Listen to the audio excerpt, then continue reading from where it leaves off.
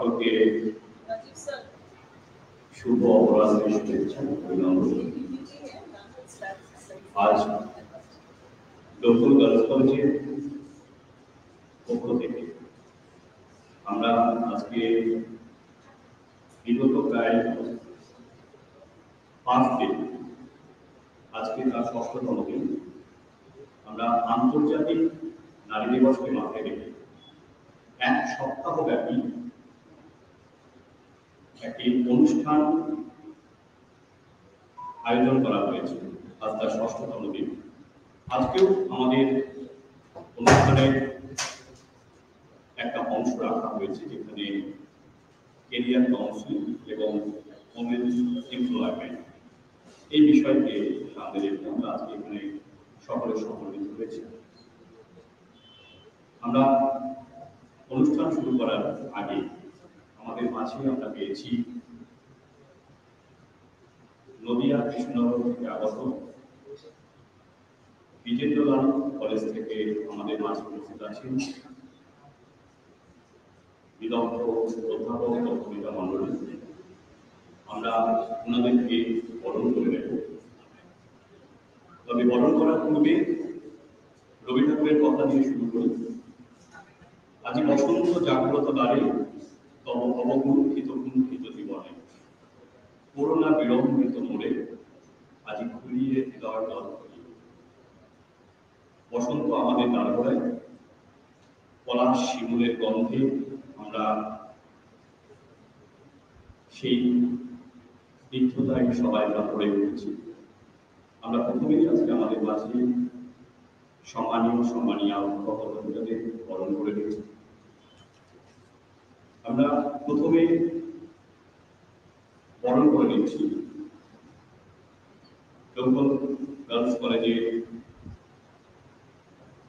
সম্মাননীয় অধ্যক্ষ মহাশয়, ডক্টর অলোক কুমার দাস মহাশয়কে বরণ করে নিচ্ছেন আমাদেরই কলেজের ছাত্রী রৌরব চাকর সরকার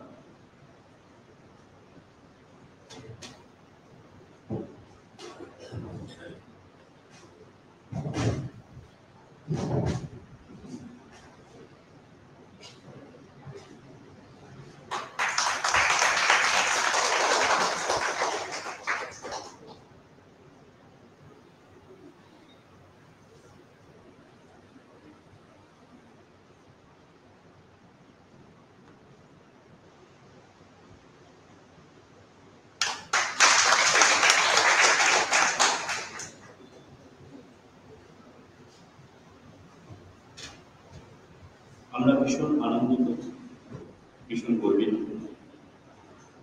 আমাদের প্রতিবেশী জেলা থেকে প্রতিবেশী জেলার একটি কলেজ কৃষ্ণনগর বিজেন্দ্রলাল কলেজ থেকে আমাদের মাঝে উপস্থিত হয়েছেন সম্মানীয় সম্মানীয় অধ্যাপক অধ্যাপিকা এবং অধ্যক্ষ মহাশয় এবারে আমরা বরণ করে নেব সম্মাননীয় ডক্টর পারিব্রত গোস্বামী মহাশয়কে অধ্যক্ষ বিজেন্দ্রলাল কলেজ কৃষ্ণনগর নদিয়া ওনাকে বড় করে নিচ্ছেন স্বামী মাতা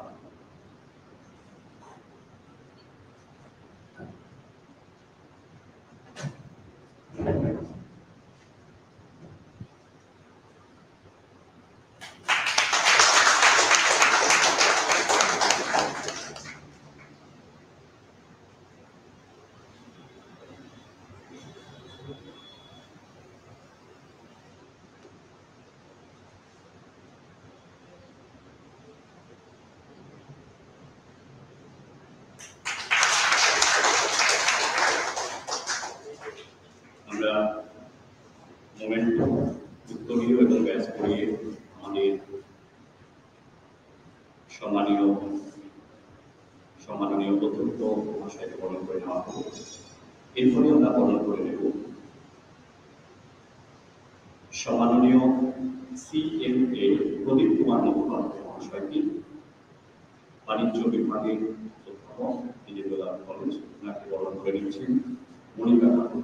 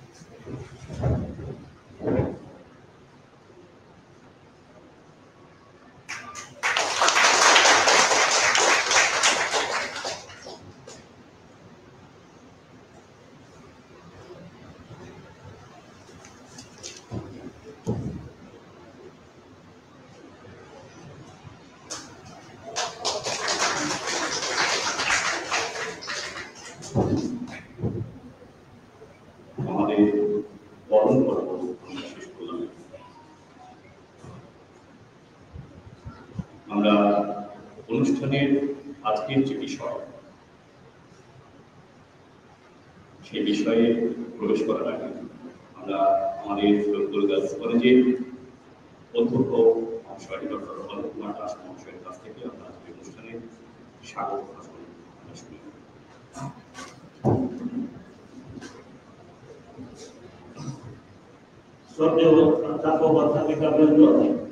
এবং আমার পুরো কর্মজীবনের জেলা থেকে আগত বিএল কৃষ্ণনগর কলেজ ওনার অধ্যাপক মহাশয় এবং অন্যান্য অধ্যাপক অধ্যাপিকা আমি আজ কারণ আমাদের।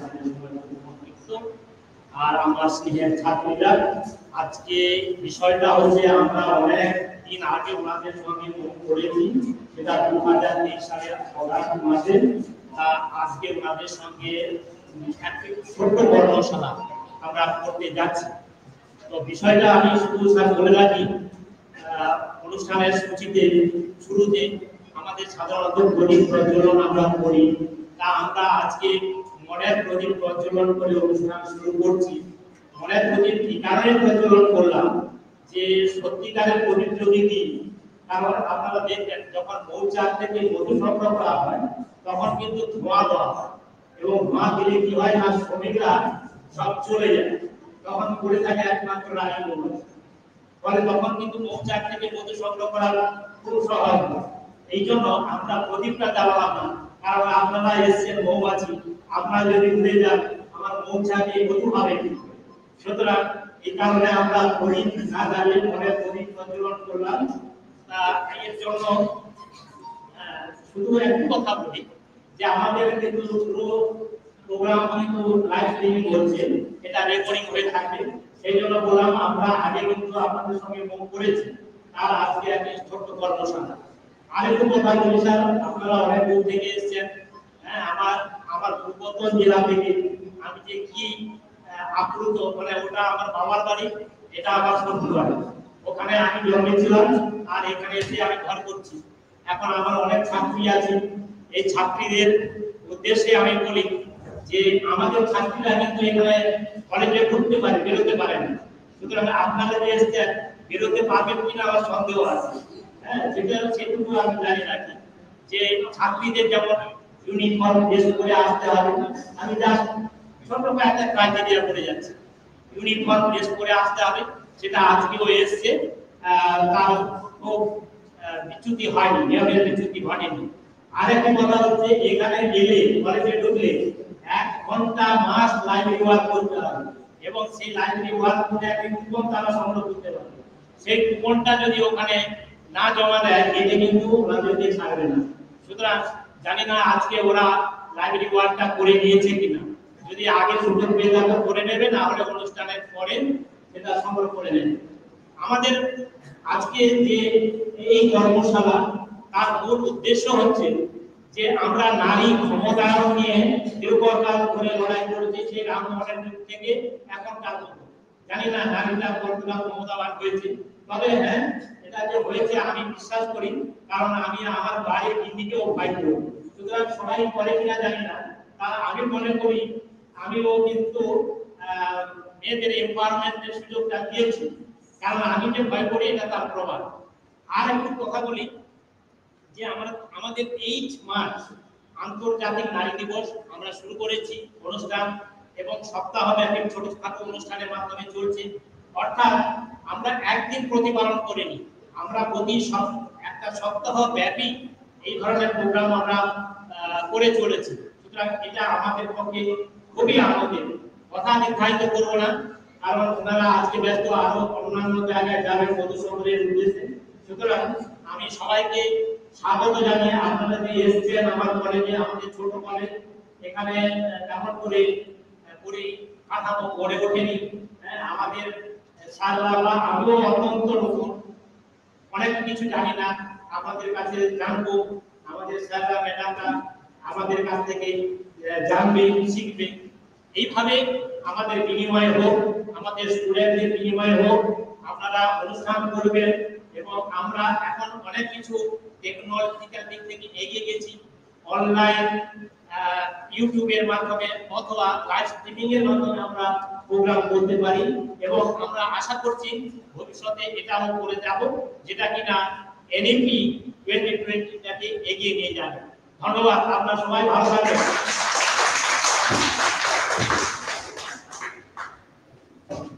অসংখ্য ধন্যবাদ এবং শ্রদ্ধা জঙ্গল গার্লস কলেজের মহাশয়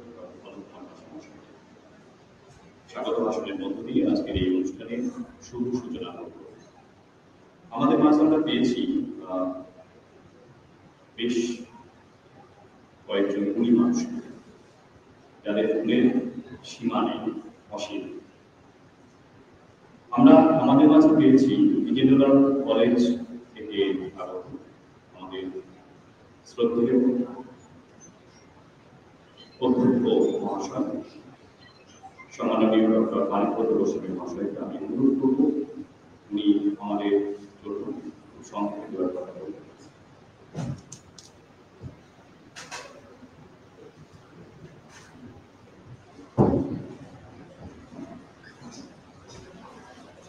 মঞ্চে উপবিষ্ট সম্মানীয় ডক্টর অলোক কুমার দাস মাননীয় অধ্যক্ষ দমকল গার্লস কলেজ মঞ্চে আরও যারা আছেন বীরেন্দ্র কলেজের আমার অন্যান্য সহকর্মীরা আছেন, দমকল গার্লস কলেজের অন্যান্য অধ্যাপক, অধ্যাপিকারা, সকলকে আমি নমস্কার, শ্রদ্ধা জানাই।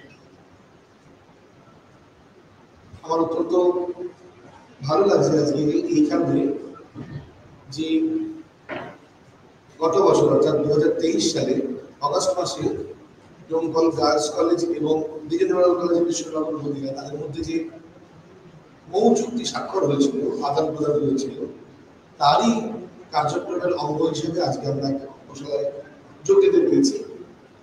এবং এই কর্মশালাটি একটি বিশেষ উল্লেখের দাবি রাখে এই কারণে যে নারীর ক্ষমতায়ন কেরিয়ার কাউন্সিলিং ইত্যাদি বিষয়ে নারীদের স্বাবলম্বী এবং সফল হওয়ার কি পদ্ধতি, কি তার লক্ষ্য, কি তার পথ, কি বা তার পাথেয় ইত্যাদি বিষয়ে নানা রকম আলোচনা উঠে আসবে এবং সেখান থেকে নিশ্চয়ই আজকে যে সমস্ত ছাত্র ছাত্রীরা এখানে অংশগ্রহণ করেছে, তারা উপকৃত হবে।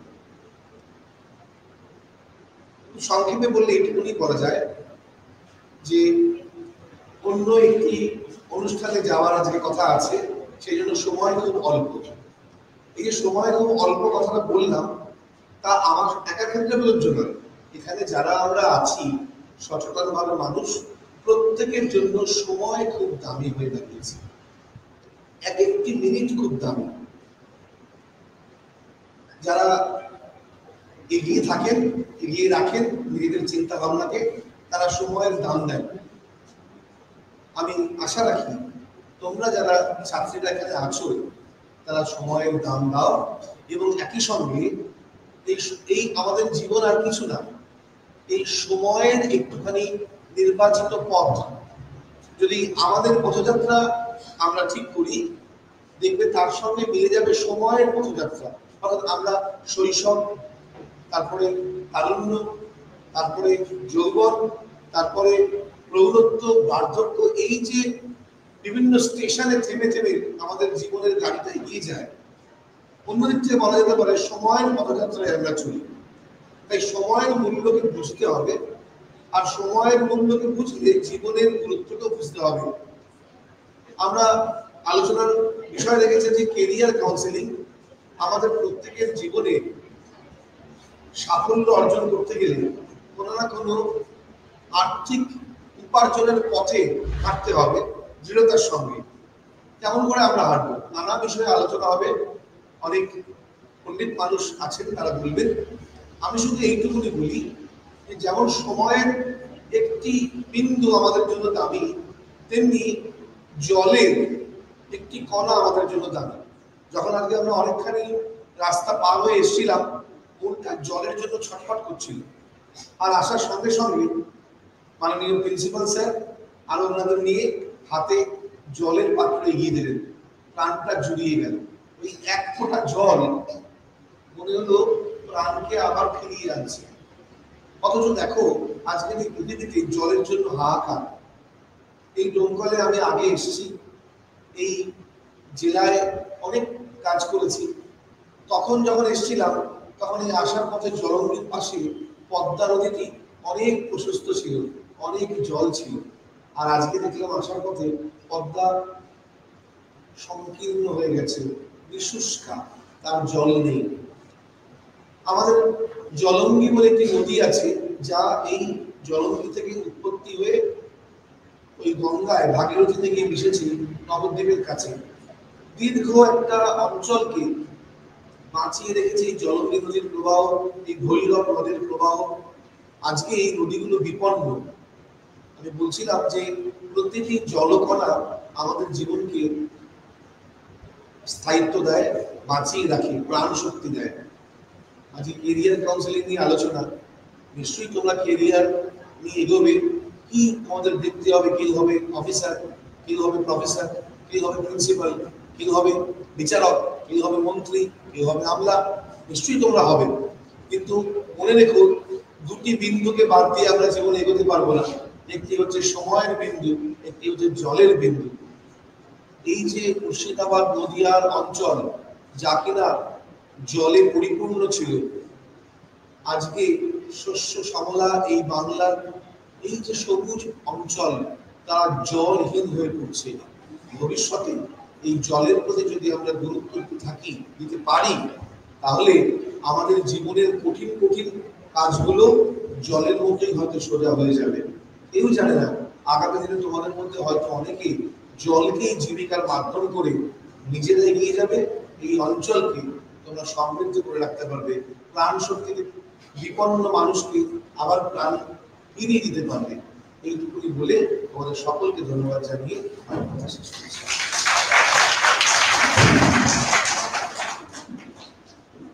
অসংখ্য ধন্যবাদ এবং আমাদের এতক্ষণ তিনি এত সুন্দর একটা বিষয়কে আমাদের সামনে উপস্থাপন করলেন মূল্যবান কিছু কথা বললেন ডক্টর মানিক ঘোষের মহাশয় ও যেভাবে আমাদের অনুষ্ঠানের আজকে তিনি মূল বক্তা বা আলোচক, আমরা ওনাকে আমাদের মাঝে পেয়ে সত্যি আমরা খুব আনন্দিত। সম্মাননীয় রানু বিশ্বাস মহাশয়, বাংলা ভাষা ও সাহিত্য বিভাগের অধ্যাপিকা। আজকে ম্যাম যে বিষয়গুলো আলোচনা করবেন সেটা নারী উত্তরণ এবং নারীর কর্মপন্থার মধ্যে নারী জীবকরণ ম্যাম অনুরোধ করছেন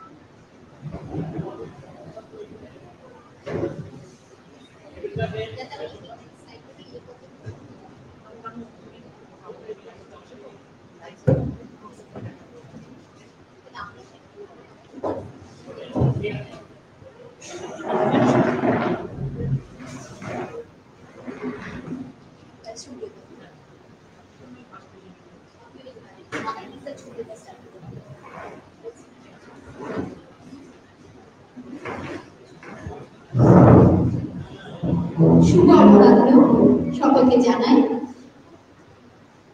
উপস্থিত আছে ডোমকল গার্লস কলেজের প্রিন্সিপাল অধ্যক্ষ মহাশয়কে আমার বিনম্র শ্রদ্ধা উপস্থিত আছেন আমাদের ইন্দিরা কলেজের অধ্যক্ষ ডক্টর বাণীবন্ধু গোস্বামী। উপস্থিত আছেন ইন্দিরা কলেজে সকল বিভাগের বিভাগের স্যারেরা। এবং উপস্থিত আছে ডোমকল গার্লস কলেজের অন্যান্য সকল বিভাগের স্যাররা, সহকর্মীবৃন্দ। সকলকে সকল স্থানে আমার শ্রদ্ধা রইল আর ভালোবাসা জানাই আমার সম্মুখে যে সকল ছাত্রীরা উপস্থিত আছে, তাদের প্রতি, আমার মেয়েদের প্রতি আমার অত্যন্ত ভালোবাসা। আজকে বক্তব্যটা আমি এইভাবে স্লাইডটা করেছি উইমেন্স এম্পাওয়ারমেন্টের উপরে, যে আমি একদম সরাসরি বক্তব্যে চলে যাচ্ছি। কোনো ভূমিকাতে রাখছি না। কারণ সময়টা খুব স্বল্প তো, এবং আমার অধ্যক্ষ মহাশয় প্রথমেই বলে দিয়েছে যে তাড়াতাড়ি সারবেন, ম্যাডাম। আমাদের আরও অনেক জায়গায় ভিজিটিং আছে। তা সেই ক্ষেত্রে যেহেতু আগে উনি নিজেও বলেন, সময় খুব দামি, জলের মতো। তাই সেই ক্ষেত্রে আমরা কিন্তু স্বল্প সময়ের মধ্যে যতটুকু বোঝা যায় বা জানা যায় সেইটুকু বলব আমি আমার মেয়েদের জন্যই এই স্লাইডটা তৈরি করেছি, কারণ স্যাররা, ম্যাডামরা সবাই এদের সম্বন্ধে অনেক কিছুই জানেন। কিন্তু আমার ছাত্রীরা, আমার সামনে যে আমি আমার ছাত্রী হিসেবে করছি তার কারণ হচ্ছে আমি দীর্ঘ আমার কলেজে পনেরো বছর পড়িয়েছি সুতরাং তোমরা আমার ছাত্রী সবাই বলব। তা সেই ক্ষেত্রে আমি আমার মেয়েদের কাছে এই আন্দোলন কিছু হিস্ট্রি জানতে চাই। যে তখনকার যুগে মেয়েরা যদি সেই সময় এনভায়রনমেন্ট সেই জায়গাতে যেতে পারে, তাহলে আমরা এখনকার মেয়েরা কেন পারব না? এই জায়গা থেকে আমি কিন্তু আমার স্লাইডগুলো সাজিয়েছি। আমি স্লাইডের শুরুতেই দেখো বলেছি কিন্তু মাদার ছবি দিয়েছি, তিনি শান্তির জন্য নোবেল এবং সেখানে কিন্তু আমরা শান্তি চাইছি। প্রথমেই আমার নামটা কিন্তু সবসময় শান্তি চাই, সমাজের শান্তি থাক, পরিবারের শান্তি থাক, সব জায়গায় শান্তি থাক। আমরা কিন্তু পুরুষের উপর ছড়ি ঘোরাতে চাইছি না। আমরা পুরুষ নারী সাম্যতা চাইছি এবং সেখান থেকে কিন্তু আমি আমার স্লাইডটা শুরু করছি। যদিও আমি উইমেন্স এমপাওয়ারমেন্ট নিয়ে আলোচনা করছি, কিন্তু আমি প্রথমে কিন্তু পুরুষ বন্দনা শুরু করব। তার কারণ এই যে রামমোহন রায়, রাজা রামমোহন রায় এবং ঈশ্বরচন্দ্র বিদ্যাসাগর মহাশয় দুজন ছিলেন বলে আজ আমি এই জায়গায় দাঁড়িয়েছি। সুতরাং তাদের প্রতি আমার প্রণাম আছে এবং আমার মনে হয় আমার যে ছাত্রীরা এখানে বসে আছে, মেয়েরা যে এখানে আজকে এই জায়গাটি আসতে পেরেছে, এই দুই মনীষীর অবদানের জন্য। রাজা রামমোহন রায় দীর্ঘ একটি প্রথা, তোমরা জানো, একটা ঐতিহাসিক প্রথা, সতীদাহ প্রথা। উইলিয়াম পেন্টিং এর সময় বন্ধ করতে পেরেছিলেন বলে আজকে কিন্তু বিধবা হত্যা হয়েছে। আগে তো মেয়েগুলোকে বাঁচা তারপরে তাদের তাই না? এবং তারপরে দেখতে পাচ্ছি, তারপরে যার কথা আমরা বলতে- চাইছি ঈশ্বরচন্দ্র বিদ্যাসাগর শিক্ষা। শিক্ষাই তো আমাদের আলোর পথ দেখায়। আমরা তো জানি যে মায়ের কোলে শিশু শেখে, সুতরাং মায়ের শিক্ষা আগে হলে শিশু থেকে মায়ের কোলে সুতরাং শিক্ষাটা আমাদের খুবই দরকার। এই শিক্ষার জায়গাটাও কিন্তু আমাদের ঈশ্বরচন্দ্র বিদ্যাসাগরে কিন্তু এনেছিলেন তোমরা হয়তো জানতে পারবে যে উনি ওনার সময় প্রায় পাঁচশো বারোটি বালিকা বিদ্যালয় প্রতিষ্ঠিত করেছিলেন। পাশাপাশি তিনি যেটা করেছিলেন সেই সময় সেটা হচ্ছে যে বিধবা বিবাহ তিনি একমাত্র চালু করেছিলেন। আমরা জানতে পারি ক্যারিং সঙ্গে তিনি যে নীতিটা তৈরি করেছিলেন, তারপর তখন যে আইনটা প্রচলন করেছিলেন এবং সেখানে দেখো লেখাই যাচ্ছে আমাদের পুনর্বিবাহ সেইখানে কিন্তু আমরা দেখতে পাচ্ছি ঈশ্বরচন্দ্র বিদ্যাসাগরের কিন্তু অবদান অনেকখানি আছে। সুতরাং এইভাবে কিন্তু নারীকে তাদের যে জায়গাটা, তাদের যে পজিশনটা আমরা তাদেরকে ওদের সাম্যতার জায়গাটা ওদেরকে বাঁচিয়ে তুললাম। প্রথম আলো যে শিক্ষার কথা বললাম, শিক্ষাটা আমাদের খুব দরকার। শিক্ষা না হলে কিন্তু আমরা প্রতিবাদ করতে পারব না। আমাদের পুরো সমাজ কিন্তু একটা আইন চালু করে দেবে। এই নিয়ম মানতে হবে, এই প্রথা মানতে হবে, এই বিধিতে চলতে হবে। সুতরাং এই বিধি থেকে বেরোনোর যে রাস্তা, যে প্রতিবাদ, আমি বলছিলাম বিক্ষোভ কথা আমি বলতে চাইছি প্রতিবাদ। সেই প্রতিবাদের জন্য কিন্তু আমাদের সাক্ষরতা খুব দরকার। এবং আমি সেখানে দেখা, বলতে চাইছি, দেখো, চন্দ্রমুখী বসু এবং কাজলমণি গাঙ্গুলি, তখনকার সময় প্রথম স্নাতক এবং সেই সময় যখন স্নাতক হচ্ছে, তোমরা শুনলে অবাক হবে যে সেই সময় কিন্তু সাউথে মানে দক্ষিণ গোলার্ধ কিন্তু ব্রিটিশদের অধীনেও কিন্তু কোনো নারী কিন্তু স্নাতক হয়নি। যখন আমাদের কাদম্বিনী গাঙ্গুলি কিন্তু স্নাতক হচ্ছে। এবং কাদম্বিনী গাঙ্গুলি যখন স্নাতক হলেন এবং তারপরে যখন কি করলেন ডক্টরেট করে মেডিকেল কলেজে ভর্তি হতে গেলেন, তোমরা শুনলে অবাক হবে, কলকাতা ফ্যাকাল্টি মেডিকেল কলেজ কিন্তু প্রথমে তাকে চান্স দেয়নি। মাত্র কয়েক নম্বরের জন্য তাকে প্র্যাকটিক্যাল পরীক্ষা ফেল করে দিয়েছিল। কিন্তু যে যে আমাকে ডাক্তার হতেই হবে, আমাকে মাথা তুলে বাঁচতেই হবে, সেই কারণে তিনি কি করলেন ম্যাড্রাসে গিয়ে কিন্তু ডাক্তারি পাশ করলেন। এবং পরবর্তী জীবনটা তার খুব স্মুথলি যে হয়েছিল তা না, কিন্তু তবুও কিন্তু তিনি প্রথম তিনিই প্রথম একজন আমাদের বাঙালি নারী, যিনি কিন্তু এডিট পাড়া প্রথম কিন্তু বিদেশ যাত্রা করেছিলেন। এবং চন্দ্রমুখী বসু কিন্তু তিনিও থেমে থাকেনি, তিনিও কিন্তু তার জীবনে অগ্রগতি করেছে। এরপর আমাদের তামিল রায় পরে পরে বলব অনার্স পাস প্রথম অনার্স পাশে যে নারী, সেই নারীকেও আমরা দেখতে পাচ্ছি এবং তিনি কিন্তু পরবর্তীকালে শিক্ষা ব্যবস্থায় কিন্তু নিজের নাম, নিজের স্থান কিন্তু দখল করেছিলেন। এবং তিনি কিন্তু মহিলা বিভাগে, তখনকার যে মহিলা অ্যাসোসিয়েশন তৈরি হয়েছিল, সেই অ্যাসোসিয়েশন এবং কংগ্রেসের কিন্তু তিনি কিন্তু সদস্য পদ কিন্তু দখল করেছিলেন।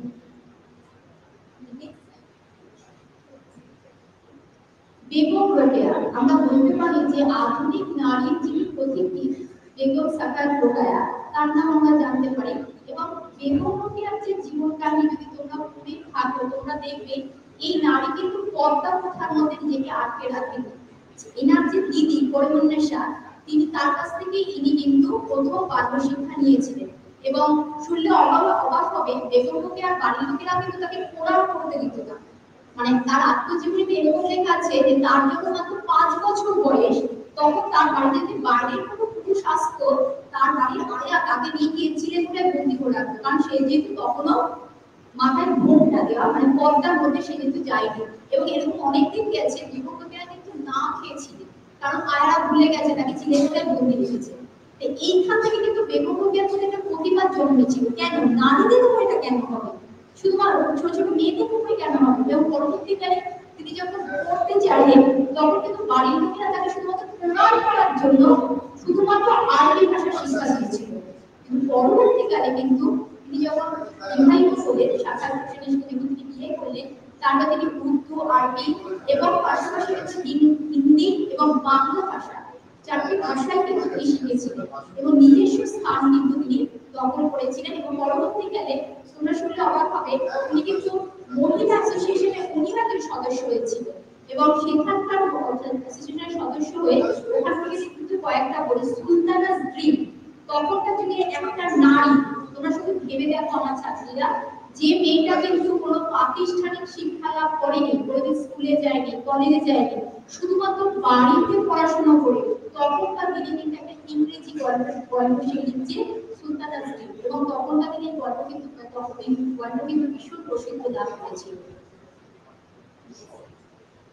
বেগম এনার কথা বোধহয় তোমরা হয়তো পেলেও পেতে পারো, অথবা গুগলে হয়তো দেখেছ। ইনিও কিন্তু আমাদের দেখতে পারি আমরা যে বেগম রোকেয়ারের মতনই কিন্তু ইনিও প্রতিবাদী ছিলেন। এনারও এই বাড়িতে একই ঘটনা ঘটেছিল। বাড়িতে লোকেরা কিন্তু পড়াশোনা করতে দেয়নি। তখনকার দিনে অভিজাত মুসলিম পরিবারের মেয়েরা কিন্তু পড়াশোনা করতো না। তাদের শিক্ষা দিত না। শুধুমাত্র যদি কোরআন পড়তে হয় কোরআনের জন্য তাদের আরবিয়া উর্দু বাড়ির লোকেরা তাকে শিক্ষা দিত। এবং তারপর তিনি বারো, মাত্র বারো বছর বয়সে তার মামাতো ভাইয়ের সঙ্গে তার বিয়ে হয়ে যায়।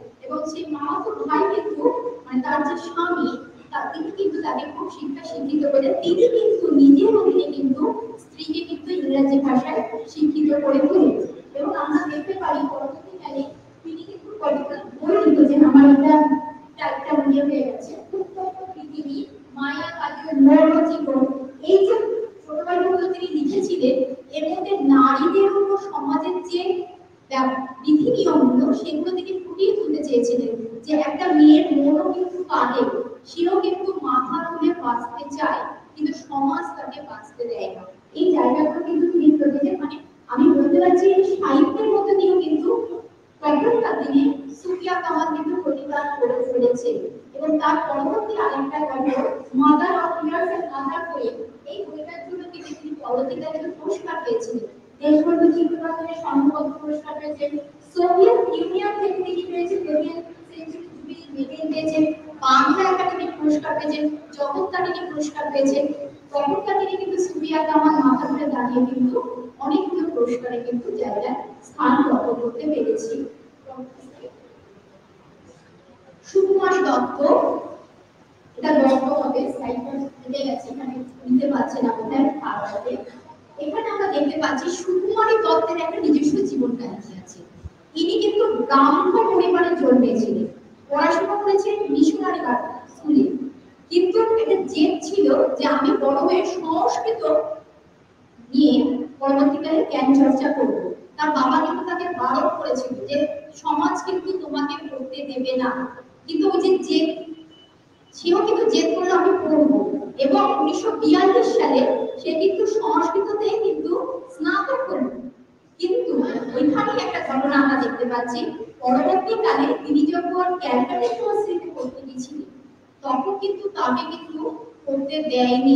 তার কারণ হচ্ছে একটা মিশনারি মেয়েকে সংস্কৃত পড়তে দেবে, সমাজ কিন্তু অ্যালাউ করেনি। কিন্তু আমরা দেখতে পাচ্ছি, সুকুমার কিন্তু থেমে থাকেনি। তিনি কি করলেন? তিনি তার পরের বছরই তেতাল্লিশ সালে কিন্তু, তিনি কিন্তু নাস্তিক হলেন। ধর্ম যখন আমাকে বাধা দিচ্ছে, আমাকে শিক্ষা ব্যবস্থায় যখন বাধা দিচ্ছে, সে ধর্ম আমার চাই না। কারণ ধর্ম মানে হচ্ছে ধারণ করে। ধর্ম আমার পরিচয় ঠিক কথা। কিন্তু ধর্ম আমাকে যখন বাধা দিয়েছে, আমার জীবনে অগ্রগতিতে সেই ধর্ম আমি নিতে চাই না।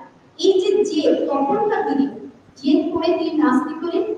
পঁয়তাল্লিশ সালে যখন আমরা। হচ্ছে নিয়ে তিনি গবেষণা শুরু করলেন এবং ওখানে তার সাথে আলাপ হলো পরেশচন্দ্রের সাথে তার স্বামীর সাথে এবং তার স্বামীকে মানে তার সঙ্গে আলাপ হলো, তাকে বিয়ে করে ভট্টাচার্য ছিলেন যাদবপুর বিশ্ববিদ্যালয়ের পুনরুত্থান সাহিত্যের অধ্যাপক। তিনি কি বলেন তিনি তার পদবী ভট্টাচার্য সুকুমারী ভট্টাচার্য নিয়ে তখন সুকুমারী কিন্তু আমরা দেখতে পাচ্ছি, তখন তিনি বেতন কলেজের শিক্ষিকা তখন কিন্তু তিনি আবার সংস্কৃততে এমএ করলেন। ওই যে ছেলেবেলাটা যেটা আমি সংস্কৃত নিয়েই পড়ব। এবং সংস্কৃততে এমএ করে যাদবপুর বিশ্ববিদ্যালয়ে কিন্তু তিনি সংস্কৃত সাহিত্যে প্রফেসর হয়েছিলেন। এবং তারপর তিনি কিন্তু যতগুলো বই লিখেছেন মিথ বৈদিক যেগুলো যেগুলো বই তিনি লিখেছেন, সবই কিন্তু এই সংস্কৃত সাহিত্যের উপরে কিন্তু বইগুলো লিখেছেন। এবং রাহুল সংস্কৃত পুরস্কার, বিদ্যাসাগর স্মৃতি পুরস্কার, এই পুরস্কারগুলো কিন্তু প্রত্যেকটা কিন্তু তার সংস্কৃত বইয়ের কিন্তু পাওয়া নেক্সট আচ্ছা এই কালারটা আসছে না, ওইখানে ধরে দিই ওখানে একটা লেখা আছে, বিপ্লবী নারী। কেন বিপ্লবী নারীটা আমি তুলেছি? সেটা হয়তো অনেকের কাছে হতে পারে বিপ্লবী জায়গাটা আসলো কেন? কারণ হচ্ছে, নারী যেটা আমাদের অবলা, কোমলা একটু নরম সরম ব্যাপার, ওটা পারবে না, ওটা হবে না। কারণ নারী তো, মেয়ে তো মানে এই যে সমাজ আমাদের একটা, আমাদের যেটা কাঠামো দিয়েছে, যেটা আমরা পারব না, এই জায়গা থেকে আমি এটা দিয়েছি যে না, মেয়েরা পারে। মেয়েরা বিপ্লবী হতে পারে। আমরা জানি হয়তো তোমরা গল্পটা হয়তো জানো যে প্রীতিলতা মর্যাদা যখন এসেছিলেন বিপ্লবীদের বিপ্লবী করবেন বলে এসেছে, তখন কিন্তু সূর্য সেন যখন তাকে বললেন যে তাকে বিপ্লবীতে নেওয়া হবে। তখন কিন্তু বাকি সমস্ত বিপ্লবী কিন্তু লেগে গেছিল। কিন্তু সূর্য সেনকে কিন্তু প্রীতিলতা মর্যাদা বলেছিলেন একটা মানে চান্স দিয়ে দেব আমরা সেই গল্প জানি, সেটা তোমরা ইতিহাস বিভাগে স্যার শুনে নিই আমরা দেখতে পাচ্ছি দুপুরি কালারে তিনি কিন্তু একটা ঘরোয়া বন্ধু এই অনুসন্ধান ছবিতে আছে। তিনি কিন্তু প্রথম বিপ্লবী নারী, যিনি নিজের কাছে সাতটি পিস্তল এবং কার্তুজ লুকিয়ে রেখেছিলেন তখনকার বিপ্লবের যুগে। এবং এই জন্য কিন্তু তাকে কিন্তু পুলিশি নির্যাতন সহ্য করতে হয়েছে। কিন্তু তবুও মুখে কিন্তু এখন কিন্তু কোনো বিপ্লবীর নাম কিন্তু বলেননি। আরেকজন আমরা দেখতে পাচ্ছি নরিমালা দেবী, যিনি ভারত জার্মান বিপ্লবের সময় আমরা দেখতে পাচ্ছি পুলিশের অত্যাচার নিয়েছে এবং উনিশ দিন প্রেসিডেন্সি জেলে কিন্তু মধ্যে ছিলেন কিন্তু নিজের জায়গাটা কিন্তু তিনি কড়াভাবে রেখেছিলেন, নিজের জায়গা থেকে কিন্তু কোনোভাবে কিন্তু সরে যাননি। আরেকটা কোনায় মেয়েরা দেখো এই মেয়েটা কিন্তু তোমাদের থেকেও বয়সে যখন মেয়েটা মারা যাচ্ছে বছর বয়সে। এই মেয়েটা হচ্ছে উনিশশো সালে যখন আমাদের ভাষা আন্দোলন হচ্ছে পাকিস্তানে, পূর্ব পাকিস্তানে কারণ আমরা জানি বাংলাদেশ তো তৈরি হয়েছে উনিশশো ষাট সালে তখন সেই সময় ভাষা আন্দোলনের প্রভাব কিন্তু আমাদের ভারতবর্ষের শিলচরেও কিন্তু পড়েছিল। এই মেয়েটাই কমলা ভট্টাচার্য হচ্ছে প্রথম ভাষার শহীদ সে কিন্তু প্রতিবাদ করেছিল। এবং তার বাড়ির লোকেরা তাকে বলেছিল যে, তুমি যেও না, কিন্তু তবুও আমরা দেখতে পাচ্ছি, সে কিন্তু প্রতিবাদ করেছে এবং কারোর কথা শোনেনি। প্রথম তার বোনকে বাঁচাতে গিয়ে সে মারা গেছিল, আমরা জানি, তার মাথায় গুলিটা লেগেছিল। কিন্তু সেখান থেকে জায়গা থেকেও কিন্তু নারীরা কিন্তু নিজের রেখেছে। রঙ্গমঞ্চ।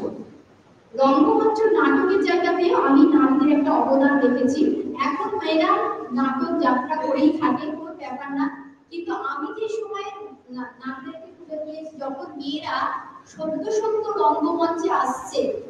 তখন কিন্তু মেয়েদের ভূমিকায় অভিনয় করতে কিন্তু পুরুষেরা কোনো নারী কিন্তু আসতো না সহজে স্টেজে অভিনয় করতে, কারণ খারাপ মেয়েরা আসতো।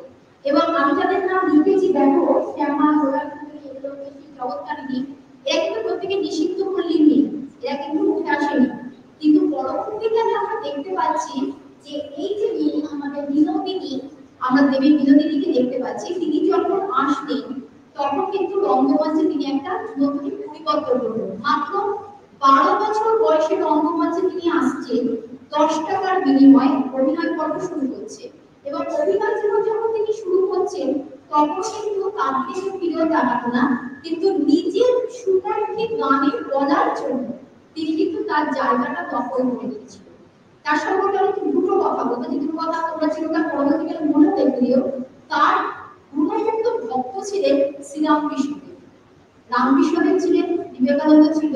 শোনা যায় তিরিশ চন্দ্রের চৈত্য লীলা অভিনয় করার সময় রামকৃষ্ণদেব নাকি হাউহাউ করে কেঁদে নাকি তাকে গলা জড়ি ধরে বলেছিল যে বিনোদিনীকে বলেছিল যে তোমার চৈতন্য এইরকম গুণমুগ্ধ জায়গায় তিনি কিন্তু সেই অভিনয় পর্বকে কিন্তু নিয়ে গেছিলেন এবার আরেকটা যেটা ঘটনা বলতো গিরিশ চন্দ্র ঘোষ তখনকার দিনে যে প্রখ্যাত নাট্যকার তিনি যে তার নাটকগুলোকে যে অভিনয় করবেন তাদের রঙ্গমঞ্চ তখন তৈরি ছিল না। তিনি তখন বিনোদিনী দেবীকে বলেছিলেন যে, রঙ্গমঞ্চ তৈরি করার জন্য টাকা চাই। সেই সময় একজন ব্যবসায়ী ছিলেন মুখ রায় যিনি থিয়েটার কি বোঝেন না টাকাটা টাকা যে বড় ব্যাপার। তিনি রঙ্গমঞ্চ নিয়ে ব্যবসা করতে চেয়েছিলেন থিয়েটারের ব্যবসা। তিনি কিন্তু বিনোদিনীর রূপে গুণে মুগ্ধ ছিলেন। তখনকার দিনে, আজ থেকে দুশো বছর আগে তিনি কিন্তু বিনোদিনী রায়কে কিন্তু পঞ্চাশ লাখ টাকা তুলে দিয়েছিলেন। ইজিলি কিন্তু বিনোদিনী নিজের জন্য টাকাটা রাখতে পারতেন কিন্তু যখন গিরিশচন্দ্র এসে বললেন যে, বাংলা সাহিত্যে বাংলার নাটক হবে কোনো ভালো রঙ্গমঞ্চ নেই, তিনি কিন্তু এই পঞ্চাশ হাজার টাকা তুলে দিয়েছিলেন। কোনো টাকা কিন্তু নিজের পেছনে রাখেন এবং সেই টাকাটা দিয়ে যে রঙ্গমঞ্চ তৈরি হলো, সেই থিয়েটার হলের নাম তোমরা সকলেই জানো স্টার থিয়েটার আমরা স্টার থিয়েটারে অভিনয় দেখি স্টার থিয়েটার নিয়ে মাতামাতি করি। স্টার থিয়েটারের পেছনে কোন নারীর যে অবদান আছে, তা কিন্তু আমরা অনেকেই কিন্তু জানি না।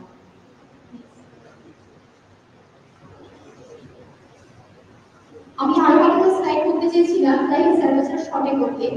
তা সেই জন্য আমি অনেক অল্প স্লাইডে দেখালাম। আমি এখানে দেখতে চেয়েছি, এসো নারী, আমরা এবার সমাজ করি অর্থাৎ নারীরা যখন সমস্ত জায়গা নিজস্ব জায়গা রাখছে, রঙ্গমঞ্চ নৃত্য থেকে শুরু করে প্রত্যেকটা স্থানে সমাজের প্রত্যেকটা কোনায় কোনায় যখন নিজস্ব জায়গা তৈরি করছে সুতরাং সমাজের মধ্যে আমরা কোনো ভেদ রাখতে চাইছি না। আমরা কিন্তু নিজস্ব পজিশন যেটা এম্পাওয়ারমেন্ট যেটা আজকে আমাদের, তোমাদের প্রিন্সিপাল স্যার বলেন ম্যাডাম কেরিয়ার গাইডেন্স নিয়েও আমাদের কিন্তু এটা রয়েছে, একটু বলবে। সেই ক্ষেত্রে আমি বলব যে যে সাফল্য তোমরা নিজেদের পায়ে দাঁড়ানো তার অনেক জায়গা আছে। শুধু যে আমি টিচার হব, এই মানসিকতার মধ্যে থেকো না। এখন চাকরির অনেক জায়গা আছে। যদি তুমি ভালো আবৃত্তি করো তাহলে আবৃত্তি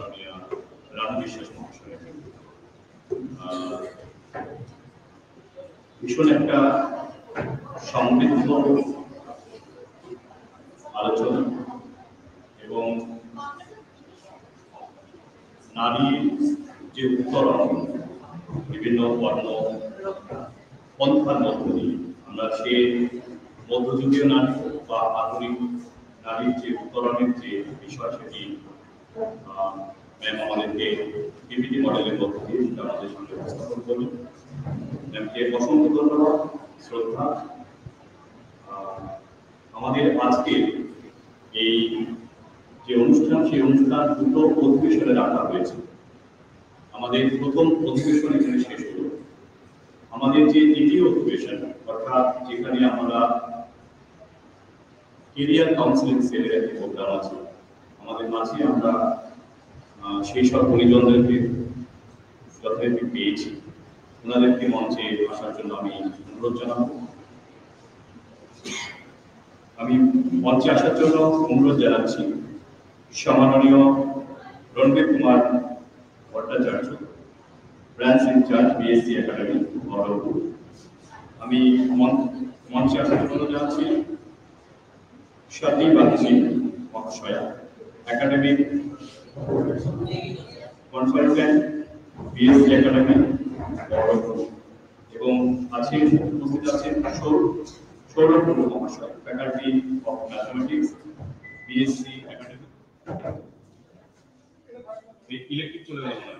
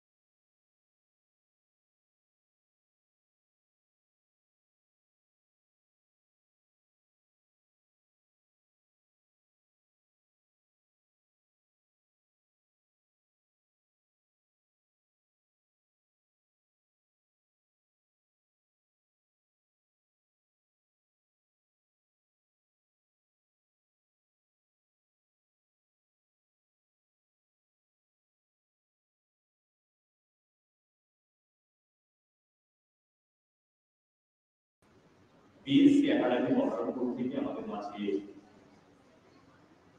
সম্মানীয়, সম্মাননীয় সকলে এসেছেন, তারা তাদের বক্তব্য আমাদের সামনে তুলে ধরবেন।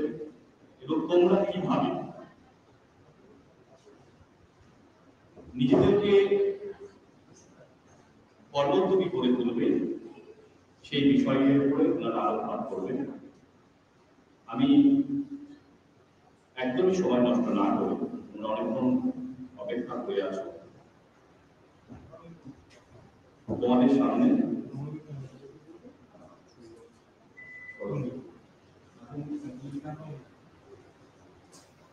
তোমাদের সামনে আজকের এই বিষয় মানে আগামী,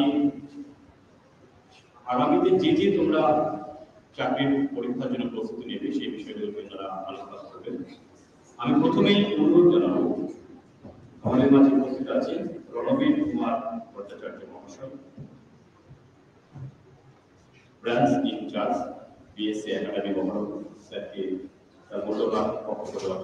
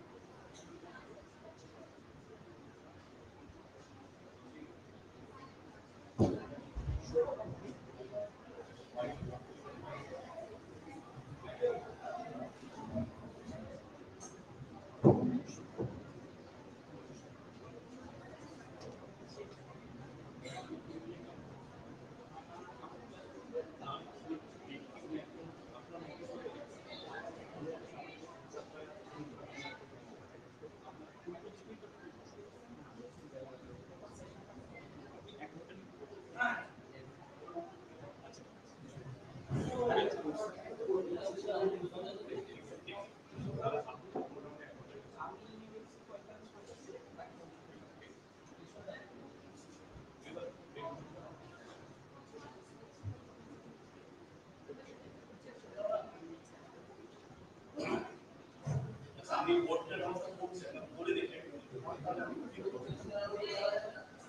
afternoon, students. তোমরা অলরেডি বুঝতে পেরেছ যে আজকে এখানে আমরা কেন একত্রিত হয়েছি দেখো তোমরা পড়াশোনা করছ মাধ্যমিক পাস করেছ তারপর গ্র্যাজুয়েশন করেছ এইচএস করেছ এইচএস এর পর এখন তোমরা গ্র্যাজুয়েট হতে চলেছো। এরপরে কি?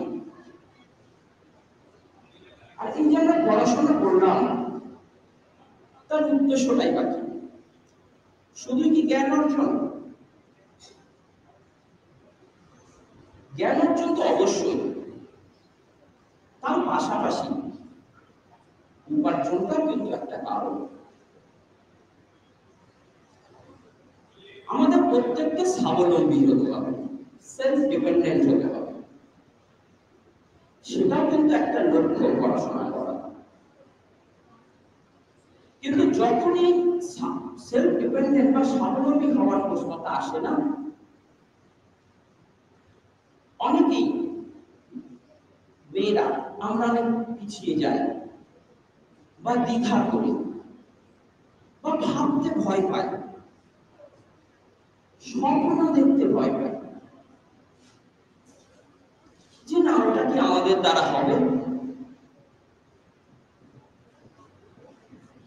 অবশ্যই হবে। কিন্তু যাই তুমি করো সবার আগে নিজেকে এই বিশ্বাসটা করতে হবে যে আমি এটা করতে পারব। আমার দ্বারা এটা সম্ভব। আগে এই বিশ্বাসটা নিজের মধ্যে আনতে হবে। তোমাদের স্যারদের সাথে দীর্ঘক্ষণ কথা হচ্ছিল আমার।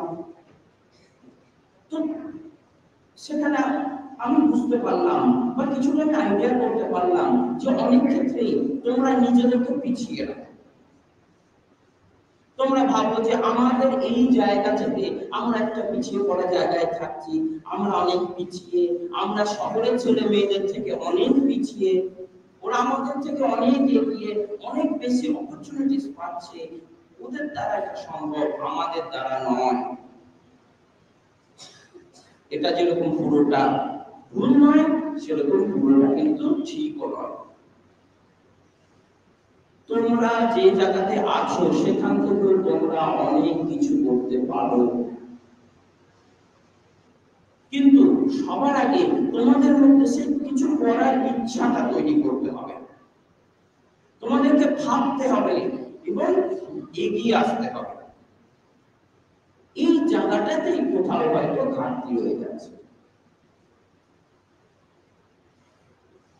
বা সেলফ ডিপেন্ডেন্ট হতে চাইলে বা হওয়ার কথা ভাবলে সবার আগে আমাদের মাথায় যে বিষয়টা আসে সেটা হচ্ছে সরকারি চাকরি। সরকারি চাকরি। এবং এই সরকারি চাকরির প্রসঙ্গটা যখন আসে, তখন সবার প্রথম আমাদের মাথায় যে বিষয়টা ঢুকি দেয় সেটা হচ্ছে শিক্ষকতা। আমি যখন এই হলে ঢুকলাম যে ম্যাডাম বক্তৃতা রাখছিলেন উনিও কিন্তু এই বিষয়টা তোমাদের বলে গেছেন। যে সরকারি চাকরি মানে কিন্তু শিক্ষক শিক্ষক শিক্ষিকার চাকরি নয়, এর বাইরেও অনেক অপশন রয়েছে, এর বাইরেও অনেক সুবিধা, সুযোগ সুবিধা রয়েছে। আমরা সেগুলো নিয়ে ভাবি না বা ভাবতে চাই না। হতে পারে আমাদের কাছে সেই ইনফরমেশন কিন্তু যদি আমরা একটু সিরিয়াসলি সেই বিষয়গুলোকে নজর দিই বা সেই বিষয়গুলো নিয়ে ভাবি এবং নিজেকে প্রিপেয়ার করি, আমরাও কিন্তু অনেক সরকারি দপ্তরে যোগ দিতে পারি, বিভিন্ন পরীক্ষায় আমরা পাস করতে পারি। কিন্তু সবার আগে আমাদের জানতে হবে সেই অপশনগুলো কি কি। পার্টিকুলার একটা বা দুটো পরীক্ষার মধ্যে বা দুই বা ততোধিক পরীক্ষার মধ্যে আমরা নিজেদেরকে সীমাবদ্ধ করে রাখি। কিন্তু এর বাইরে অনেক অপরচুনিটি রয়েছে, অনেক লাইন রয়েছে। যে লাইন ধরে আমরা এগোলে দু বছর বা তিন বছরের মধ্যে আমরা নিজেদেরকে প্রতিষ্ঠিত করতে পারি গভর্নমেন্ট এমপ্লয়ি হিসেবে। আজকে সেই বিষয়গুলোই আমরা তোমাদের জানানোর চেষ্টা করব। হয়তো আজকের এই সেশনটা তোমাদের সামনে অনেক অপশন এনে দেবে, অনেক রাস্তা খুলে দেবে। মেয়েরাও কিন্তু এখনও কোনো অংশে পিছিয়ে নয়। এখন মেয়েরাও কিন্তু যথেষ্ট টাফ কম্পিটিটার যে কোনো ফিল্ডে তুমি যাও। আমরা জানি আমাদের দেশের রাষ্ট্রপতি একজন মহিলা। আমাদের দেশের অর্থমন্ত্রী একজন মহিলা। এবং আমাদের রাজ্যের মুখ্যমন্ত্রী একজন মহিলা। আমরা জানি স্টেট ব্যাংক অফ ইন্ডিয়ার চেয়ারপারসন ছিলেন একজন মহিলা, অরুন্ধতী ভট্টাচার্য, যিনি অলরেডি রিটায়ার করেছেন। অরুন্ধতী ভট্টাচার্য, যিনি এই পশ্চিম বাংলারই এরকম এক্সাম্পল আর অনেক রয়েছে। আমি তো দু তিনটে এক্সাম্পল দিলাম। যেগুলো দিলাম, সেগুলো তো অনেক কঠিন কাজ। এখানে আমরা যে বিষয়গুলো নিয়ে তোমাদের বলব আগামী এক দেড় ঘণ্টা, সেগুলো অনেক সহজ কাজ। কিন্তু ওই সহজ বিষয়টাকে আমরা অনেক কঠিন ভাবে ভাবি আমি তোমাদের কাছ থেকে শুনব। এখানে যারা তোমরা বসে আছো, তাদের মধ্যে কতজনের চিন্তা ভাবনা রয়েছে সরকারি চাকরি করার? একটু হাত তুলবে একটা সেশন মানে শুধুই শোনা নয়, তোমাদের তো রেসপন্স করতে হবে। শুধু চুপচাপ আমি শুনতে দেব না। তোমরা এখানে যারা বসে আছো, তাদের মধ্যে কতজনের চিন্তা ভাবনা রয়েছে যে আগামী দিনে আমি নিজেকে গভর্নমেন্ট এমপ্লয় হিসেবে দেখব।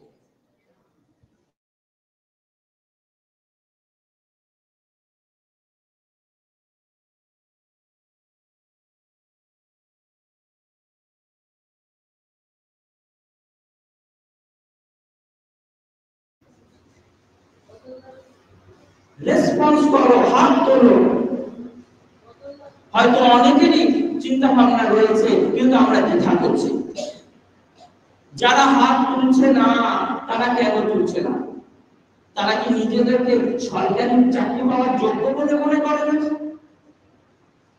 যদি সেটা হয়, আমি সেটাও শুনতে চাই। তারাও হাত তুলবে তারা মনে করে না, আমি সরকারি চাকরি পাওয়ার যোগ্য। হাত হাত উঠেছে।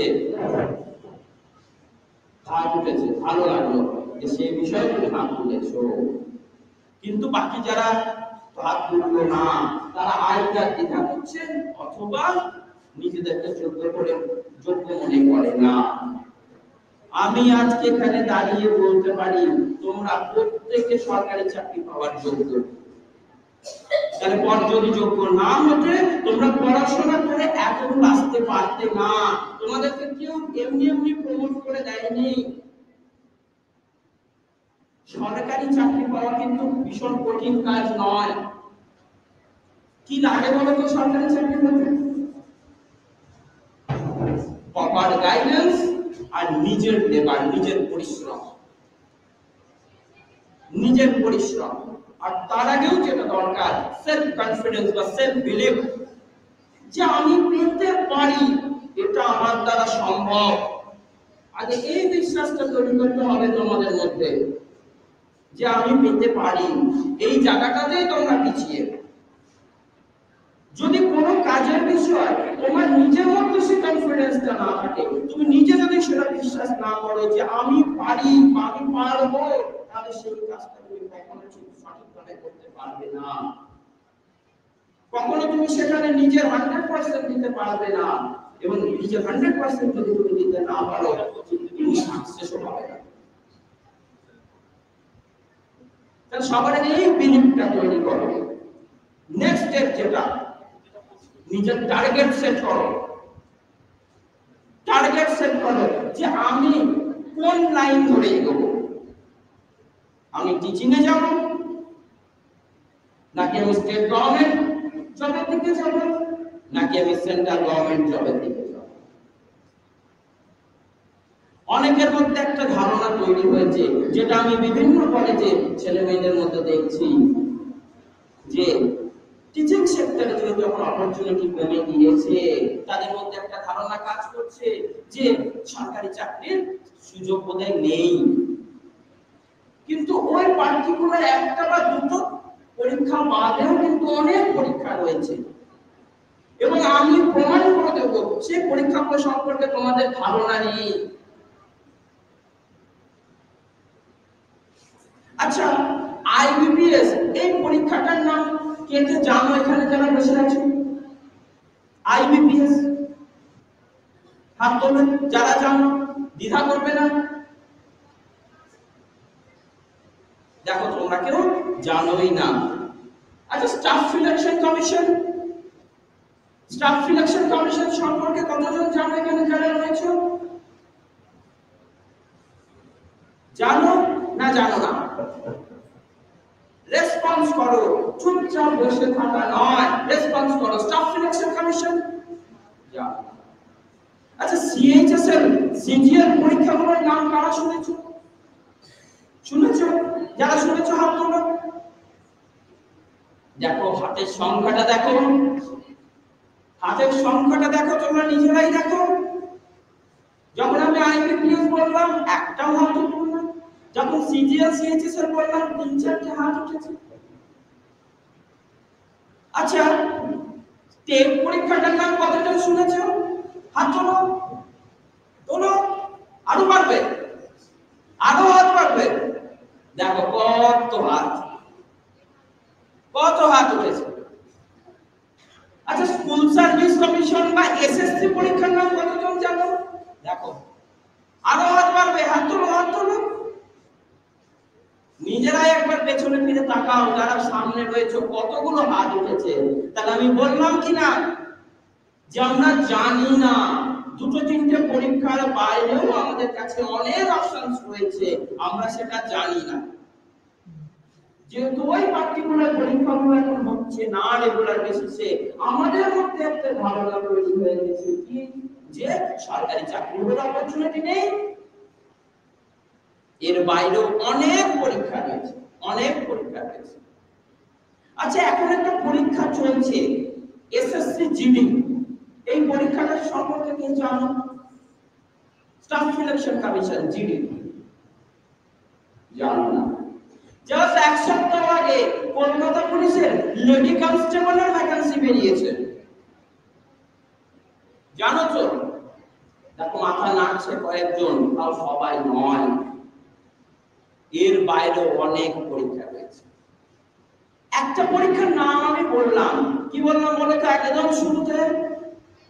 আইবিপিএস দেখো তোমরা একজনও হাত তুললে না। তাহলে আমি ধরে নিচ্ছি কি তোমরা সেই বিষয়টা অবগত নও। কিন্তু বছরে ছটা করে পরীক্ষা হয় আইবিপিএস এর।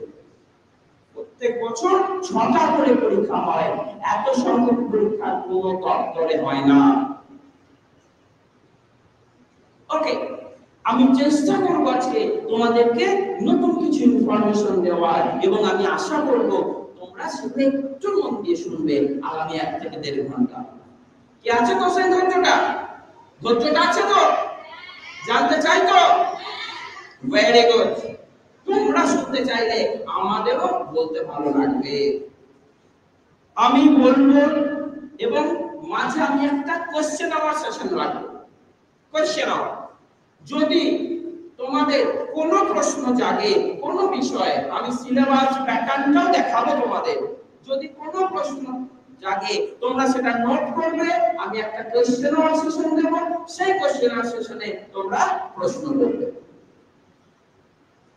তাহলে এক আমরা শুধু পরীক্ষার নামগুলোই জানব না, তার কি সিলেবাস, কি পড়তে হবে, কখন পরীক্ষা হয় কি রকম ভ্যাকান্সি থাকে, এই বিষয়গুলো সম্পর্কে একটু জানব। এবং সব শেষে আমরা ম্যাথস এর একটা ক্লাস করব। ম্যাথস ম্যাথমেটিক্স শুনে ভয় লাগছে তো? লাগবে জানি, কিন্তু সেই ভয়টা কাটিয়ে উঠতে হবে। তো সবশেষে আমরা ম্যাথস এর ভীতি কাটাবো। ওকে চলো, আমরা শুনব, পাশাপাশি একটু স্ক্রিনে দেখব। তাহলে আমরা গ্র্যাজুয়েশন কমপ্লিট করলাম। এবার আমাদের লক্ষ্য কি? নিজেদেরকে এস্টাবলিশ করা। আমাদের সামনে তিনটি অপশন তিনটি অপশন দেখো গভর্নমেন্ট সেক্টর প্রাইভেট সেক্টর আর নিজের বিজনেস এই তিনটি অপশন রয়েছে আমাদের সামনে। তাহলে আজকে আমরা যে বিষয়টা নিয়ে আলোচনা করব সেটা গভর্নমেন্ট সেক্টর আমরা প্রাইভেট সেক্টর নিয়ে আলোচনা করব, এটা সম্পূর্ণ আলাদা বিষয়। আমরা ওন বিজনেস বা এন্টারপ্রেনারশিপ নিয়ে আলোচনা করব না, সেটাও সম্পূর্ণ আলাদা লাইন আজকে আমরা যে বিষয়টা নিয়ে কথা বলব, সেটা হচ্ছে government sector okay government jobs আমাদের কাছে কি কি অপশনস রয়েছে? দেখো, যখন আমরা গভর্নমেন্ট জবের কথা ভাববো না আমাদের কাছে দুটো অপশনস রয়েছে। একটা সেন্ট্রাল গভর্নমেন্ট একটা স্টেট গভর্নমেন্ট ওকে একটা রাজ্য সরকারের চাকরি, একটা কেন্দ্র সরকারের চাকরি। কেন্দ্রীয় সরকারের যে চাকরি, সেখানে আমাদের অপশন কি কি রয়েছে? দেখো তোমরা অলরেডি স্ক্রিনে দেখতে পাচ্ছ। Bank subscription rail post office insurance defence and others okay, main main দপ্তরগুলো, আমরা এখানে ডিসপ্লে করেছি, এর বাইরেও কিছু ওকে? তাহলে ফার্স্ট যে সেক্টরটা আমরা bank then staff railway post office defence main যে হয়, যদি আমরা স্টেট গভর্নমেন্ট সেক্টরে চলে আসি স্টেট গভর্নমেন্ট সেক্টরে দেখো প্রথম হচ্ছে ডাব্লিউবিসিএস শুনেছো তো পরীক্ষাটার নাম? ওয়েস্ট বেঙ্গল সিভিল সার্ভিস দেখো, সবাই একসাথে বলছে হ্যাঁ। কিন্তু যখন আমি আইবিপিএস এর কথা জিজ্ঞেস করলাম, সবাই চুপ। তাহলে আমি শুরুতে বললাম না যে আমরা পার্টিকুলার কয়েকটা এক্সামের মধ্যে নিজেদেরকে বেঁধে রেখেছি। এর বাইরেও আমাদের কাছে অনেক অপরচুনিটি রয়েছে। ওকে ডাব্লিউবিসিএস এছাড়া কি করেন? দেখো WBCSC West Bengal Public Service Commission WBCS পরীক্ষাটাও সে পিএসসি কন্ডাক্ট করে, কিন্তু ওটা যেহেতু একটা বড় এক্সাম তার জন্য ওটাকে আমরা আলাদাভাবে ডিসপ্লে করেছি। Next police department West Bengal police and Kolkata police already আমি বললাম জাস্ট কয়েকদিন আগে কলকাতা পুলিশ লেডি কনস্টেবলের ভ্যাকেন্সি এসেছে। Primary grade upper primary grade SLST others এটা নিশ্চয়ই আমাকে বলে দিতে হবে না, তোমরা সবাই জানো ওকে তাহলে আমরা কোন বিষয়টা দিয়ে শুরু করব? যেটা তোমরা জানো না, সেইটা দিয়ে আমরা শুরু করব। কারণ যেটা আমরা জানি না, বা কম জানি, আমরা সেটাকে জানব চলো, আমরা সেন্ট্রাল গভর্নমেন্ট দিয়ে শুরু করব। আচ্ছা আমি একটা কথা জিজ্ঞেস করি। তোমরা তোমরা এখানে যারা বসে রয়েছো, প্রত্যেকের নিশ্চয়ই ব্যাংক অ্যাকাউন্ট রয়েছে? রয়েছে তো? কার কার ব্যাংক অ্যাকাউন্ট রয়েছে? হাত তুলুন সবাই হাত তুলেছে। তার মানে তোমরা সবাই ব্যাংকে যাও। যাও তো? আচ্ছা। ব্যাংকে যাও যে স্যার স্যার ম্যাডাম ম্যাডাম বলে কাজ করো। বিভিন্ন তোমাদের যা কাজ থাকে টাকা জমা তোলা এই ফর্ম জমা এই- এই কার্ড নেওয়া চেক বুক নেওয়া আচ্ছা। যখন ব্যাংকে যাও কখনো মনে প্রশ্ন জাগে না? এই যে চেয়ারে যারা বসে আছেন তারা কীভাবে এখানে বসলেন? প্রশ্ন জাগে না? হ্যাঁ না না? হ্যাঁ জোরে বলো হ্যাঁ। ইয়েস তাহলে সেই প্রশ্নের উত্তর খোঁজার কেন চেষ্টা করিনি? করেছি? না, কেন করিনি? যারা ব্যাংকে বসে থাকেন, যারা তাদের থেকে তোমরা স্যার স্যার ম্যাডাম ম্যাডাম বলে বিভিন্ন কাজ করো, তারা তো তোমাদের মতনই কেউ, নাকি তারা মঙ্গল গ্রহ থেকে এসেছেন? কেন প্রশ্ন জাগে নাই? আর যদি জেগে থাকে, তাহলে তার উত্তর খোঁজার চেষ্টা করিনি কেন? পারবে এই প্রশ্নের উত্তর দিতে? যাদের প্রশ্ন জাগেনি, কেন জাগেনি? যাদের প্রশ্ন জেগেছে, তাহলে তার উত্তর কেন খোঁজার চেষ্টা করিনি? এর উত্তরটা কি বলতো? বলব? আইবিপিএস এই উত- এই প্রশ্নের উত্তরটাই হচ্ছে আইবিপিএস তারা কীভাবে ওইখানে এলো? আইবিপিএস এটা একটা পরীক্ষার নাম। যে পরীক্ষায় পাশ করে তোমাদের মতনই কেউ ব্যাংকে চাকরি করছে। বোঝাতে পারলাম? তাহলে এতদিন এই উত্তরটা ছিল আমাদের কাছে? না, আমরা শুধুই শিক্ষক শিক্ষিকা হওয়ার চেষ্টা করেছি। আর তার বাইরে যদি কিছু ভেবে থাকে নার্সিং আর ডব্লিউবিসিএস অল্প বিস্তর পুলিশ। অথচ আমাদের প্রত্যেকের বাড়ির আশেপাশে ব্যাংক, আমরা যাচ্ছি, কাজ করছি। পোস্ট অফিসে যাই তো। পোস্ট অফিসে যাই। ওই পোস্ট অফিসে যারা কাজ করছেন, তোমাদের মধ্যে তো কেউ? তোমাদের থেকে একটু সিনিয়র তারা কীভাবে এলেন ওইখানে মনে প্রশ্ন জাগেনি প্রশ্ন তৈরি করতে হবে এবং সেই প্রশ্নের উত্তর খুঁজতে হবে। স্টাফ সিলেকশন পরীক্ষার মাধ্যমে স্টাফ সিলেকশন পরীক্ষার মাধ্যমে। বুঝতে পেরেছ? তো অনেক অপশন রয়েছে। আমাদের শুধু সেগুলো জানতে হবে এবং সেই অনুযায়ী নিজেদেরকে প্রিপেয়ার করতে হবে। তো আমি প্রথম শুরু করব আইবিপিএস দিয়ে। আইবিপিএস দিয়ে যেটা তোমরা কেউ আমি সেইটাই আজকে তোমাদের বলে তারপর অন্যান্য বিষয় নিয়ে বলব যে এতগুলো ব্যাংক রয়েছে আমাদের দেশে, এগারোটা ন্যাশনালাইজ ব্যাংক তার সাথে এসবিআই টোটাল বারোটা ব্যাংক রয়েছে। এবং ওই ব্যাংকে ক্লারিক্যাল এবং অফিসার বিভিন্ন ব্যাংকে পরীক্ষা হয়। একটা সময় ছিল, বলা হতো টিচিং জবটা মেয়েদের পক্ষে ভীষণ আদর্শ। এখন আমরা বলি ব্যাংকিং জবটা বা ব্যাংক ক্লার্ক জবটা মেয়েদের পক্ষে ভীষণ আদর্শ। কেন বলেন তো? মুর্শিদাবাদে থেকে যদি কেউ আইবিপিএস ক্লার্ক পরীক্ষা পাস করে, সে ব্যাংক ক্লার্কের চাকরি পাবে এবং নিজের হোম টাউনে পোস্টিং পাবে। আজকে দমকল থেকে যদি কেউ পাস করে, সে দমকল ইসলামপুর বা তার আশেপাশে পোস্টিং পাবে। কারণ মুর্শিদাবাদ হচ্ছে স্কারসিটি জোন ঘাটতি। প্রত্যেক বছর যে পরিমাণ ভ্যাকান্সি মুর্শিদাবাদ থেকে থাকে তার টেন পার্সেন্ট স্টুডেন্ট মুর্শিদাবাদ থেকে পাস করে। যদি একশো ভ্যাকান্সি থাকে মুর্শিদাবাদে, দশটা ছেলে মেয়ে পাস করে মুর্শিদাবাদ থেকে। যদি দুশো ভ্যাকান্সি থাকে, কুড়িটা ছেলে মেয়ে পাস করে। এবং যারা পাস করে, নিজের হোম টাউনে পোস্টিং পায়। মেয়েদের তো হোম টাউনেই দেওয়া হয়? ছেলেদের হোম টাউনের আশেপাশে দেওয়া হয়। তোমাকে যেতে হবে না। একশো কিলোমিটার, দুশো কিলোমিটার দূরে চাকরি করতে ব্যাংক ক্লার্কের ক্ষেত্রে আমি বলছি। সেন্ট্রাল গভর্নমেন্টের job starting salary forty two three thousand শুধু নিজেকে প্রিপেয়ার করতে হবে। গুটিয়ে রাখলে হবে না। অনেকে মনে করে ব্যাংকের চাকরি পাওয়া হয়তো ভীষণ কঠিন, পরীক্ষাটা ভীষণ টাফ তোমরা সেটা মনে করো না, আমি সেটা জানি। কারণ তোমরা তো পরীক্ষাটার নামই জানতে না। তাহলে যে পরীক্ষাটার নামই জানতাম না, সেটা টাফ না ইজি আমরা সেটাও বলব না। বিভিন্ন কলেজে যেটা আমাদের অভিজ্ঞতা হয়, স্যার আইবিপিএস পরীক্ষা ভীষণ টাফ এটা আমাদের পক্ষে পাওয়া সম্ভব না। তাকে আমি কি প্রশ্ন করি বলো তো? তাহলে যারা প্রত্যেক বছর পাস করছে, তারা কোথা থেকে মঙ্গল গ্রহ থেকে? না রিসেন্টলি ইন্ডিয়া ইন্ডিয়া চাঁদে পা দিয়েছে, চাঁদ থেকে? তাহলে তোমাদের মতনই তো কেউ? শুধু তারা সঠিক সময়, সঠিক সিদ্ধান্ত নিয়েছে আর সাহস দেখিয়েছে।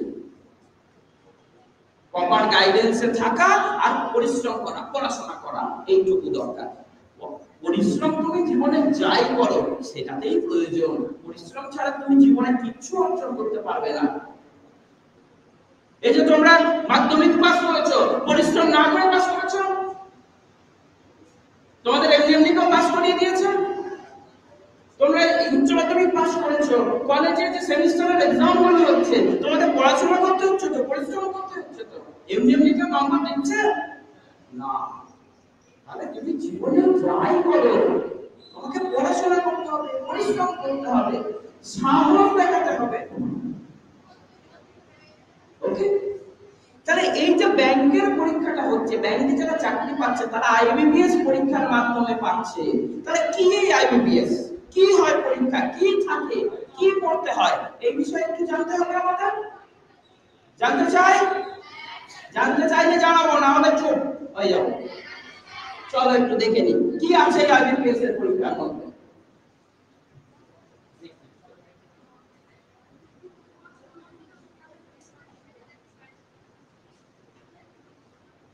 কই নাম থাকে? IBPS institute of banking personnel selection okay এই বডিটা এক্সাম কন্ডাক্ট করে। প্রত্যেক বছর ছটা করে পরীক্ষা হয়, একটা, দুটো না, ছটা করে। প্রত্যেক বছর। বোঝা গেল কি থাকে এক্সামে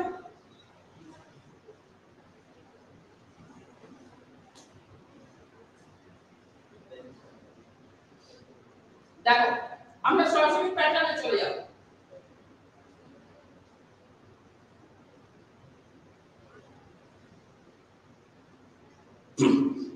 অফিসার র্যাঙ্কের আলাদা পরীক্ষা হয় ক্লারিক্যালের আলাদা পরীক্ষা হয়।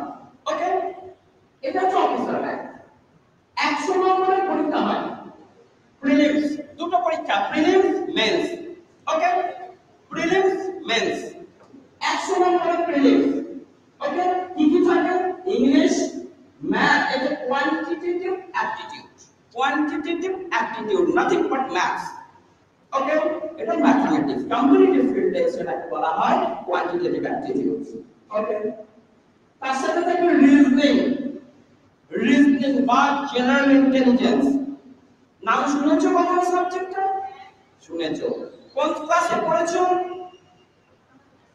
কোন ক্লাসে পড়নি। অথচ পড়েছো। ঠিক আছে? আমি কখনো যদি রিজনিং এর পড়া নিয়ে আসতে পারি, আমি আরও ডিটেলে রিজনিং সাবজেক্ট নিয়ে পড়ব। ওকে রিজনিং এমন একটা সাবজেক্ট তোমরা কোন স্কুল, কলেজ, ইউনিভার্সিটি কোথাও ডিরেক্ট সেটা পড়ানো হয় না। কিন্তু রিজনিং সাবজেক্টের মধ্যে সব সাবজেক্ট থাকে ওকে কি থাকে, কীভাবে থাকে? সেটা আজকের জন্য তোমাদের মধ্যে ইন্টারেস্ট আমি রেখে দিয়ে গেলাম। যদি কখনো সুযোগ পাই, আমি সেই দিন ক্লিয়ার করব ওকে তো এই তিনটা সাবজেক্ট থাকে ইংলিশ ম্যাথ রিজনিং একশো নম্বরের পরীক্ষা হয় প্রিলিমস প্রিলিমস পাস করলে মেন্স প্রিলিমস পাস করলে মেন্স মেন্সে থাকছে দেখো রিজনিং ম্যাথ ইংলিশ তো থাকেই তার সাথে থাকে জিকে পেপার জিকে পেপার বোঝা গেল? এটা হচ্ছে মেন্সের প্যাটার্ন কত নম্বরের পরীক্ষা হয়? ওটা দেখো দুশো নম্বরের পরীক্ষা হয়। দেখো পয়েন্টের যেখানে আছে সেখানে তাকাও। দুশো নম্বরের পরীক্ষা হয়। ওটা তিন ঘণ্টা সময়। এটা হচ্ছে অফিসার ওকে এখানে দেখো তোমরা বলতে পারো স্যার আগে ম্যাথ ম্যাথ করছেন। এখানে তো ম্যাথ নেই ডেটা অ্যানালাইসিস এন্ড ইন্টারপ্রিটেশন ওই ওটাই ম্যাথ ক্লিয়ার এটা দেখো অফিসার র্যাঙ্ক ক্লারিক্যাল যেটা হয় একই প্যাটার্ন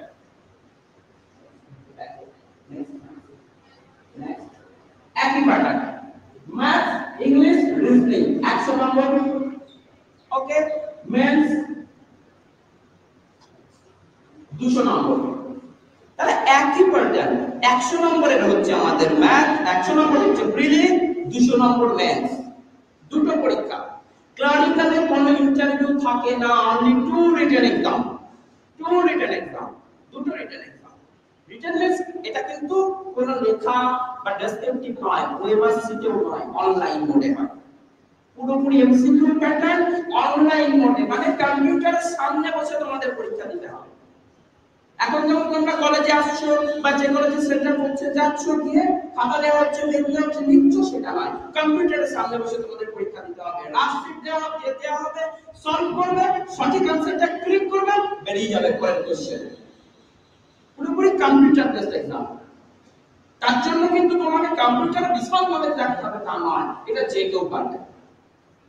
পুরোপুরি অনলাইন এক্সাম আছে। তাহলে ক্লার্ক আর অফিসার দুটো পরীক্ষা হয়। ক্লারিক্যালে only prelims and mains exam no interview. পিওতে অফিসার র্যাঙ্কে prelims mains with that interview বোঝা গেল? তাহলে এই হচ্ছে ব্যাংকের পরীক্ষার প্যাটার্ন বছরে ছটা করে পরীক্ষা হয়। প্রত্যেক বছর মে মাস থেকে নোটিফিকেশন আসতে শুরু করে। একদম আগস্ট, সেপ্টেম্বর পর্যন্ত নোটিফিকেশন আসে। আগস্ট থেকে এক্সাম শুরু হয়। পরের বছর জানুয়ারি পর্যন্ত এক্সাম চলে ব্যাক টু ব্যাক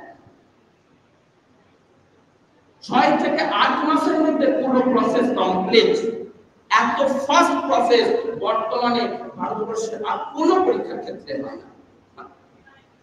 ছ থেকে আট মাসের মধ্যে পুরো প্রসেস কমপ্লিট মানে ফাইনাল প্ল্যান নিজে পারফর্ম করো সিলেক্টেড হও। No other ways and means মানে নিজের পারফরম্যান্সের বাইরে কিন্তু আর অন্য কোনো কিছু উপায় নেই সিলেক্টেড হওয়ার। আমি তোমরা বুঝতে পারছ আমি কি বলতে চাইছি। পারফর্ম করো সিলেক্টেড হও। এখনও কিছু অনেক পরীক্ষা বা ম্যাক্সিমাম পরীক্ষায় রয়েছে যেখানে শেষ কথা। আমাদের চারপাশে নেগেটিভ কথাটা বেশি স্প্রেড করে। তুমি যদি কাউকে বলো, আমি সরকারি চাকরির প্রিপারেশন নিচ্ছি, তোমাকে হয়তো অনেকেই বলবে, কি হবে সরকারি চাকরি প্রিপারেশন নিয়ে? পড়াশোনা করে সরকারি চাকরি হয় না। কথাটা আমরা শুনি কি শুনি না? ভুল। ভুল। দুটো বা তিনটে পরীক্ষা দিয়ে বা একটা বা দুটো পরীক্ষা দিয়ে আমরা সব পরীক্ষাকে বিচার করব না। দু সাল থেকে আইবিপিএস পরীক্ষা কন্ডাক্ট করছে, ব্যাংকের পরীক্ষা। দু সালের পর্যন্ত কোন বছর একটা কোনো কমপ্লেন আসেনি পুরো প্রসেস নিয়ে। কেউ বলতে পারবে না। হান্ড্রেড পার্সেন্ট ট্রান্সপারেন্ট কিন্তু আমরা জানি না বিষয়টা। আমাদের সমাজে একটা খারাপ দিক আছে। আমি কাউকে সমালোচনা করছি না। যারা জানে, তারা কম কথা বলে। আর যারা জানে না, তারা বেশি কথা বলে। এবং কম্পিটিটিভ লাইনে দীর্ঘ চোদ্দ বছরের লাইনে থাকার ফলে আমি যেটা রিয়েলাইজ করেছি কম্পিটিটিভ লাইন সম্পর্কে বেশিরভাগ মানুষের ধারণা খুব কম। বেশিরভাগ মানুষেরই ধারণা খুব কম। বোঝা গেল? তো নিজেকে প্রিপেয়ার করো, পরীক্ষা দাও পাস করো সিলেক্টেড হও, চাকরি পাও, আর কোন রাস্তা নেই চাকরি পাওয়া এই হচ্ছে আইবিপিএস আজকে সমস্ত ব্যাংকিং সেক্টরের পরীক্ষা এই আইবিপিএস কন্ডাক্ট করছে। প্রত্যেক বছর হাজার হাজার ছেলে মেয়ে পাস করছে। আমরা দেখে নেব একবার ভ্যাকেন্সিটা লাস্ট থ্রি ইয়ার্স এর ভ্যাকেন্সি দেখো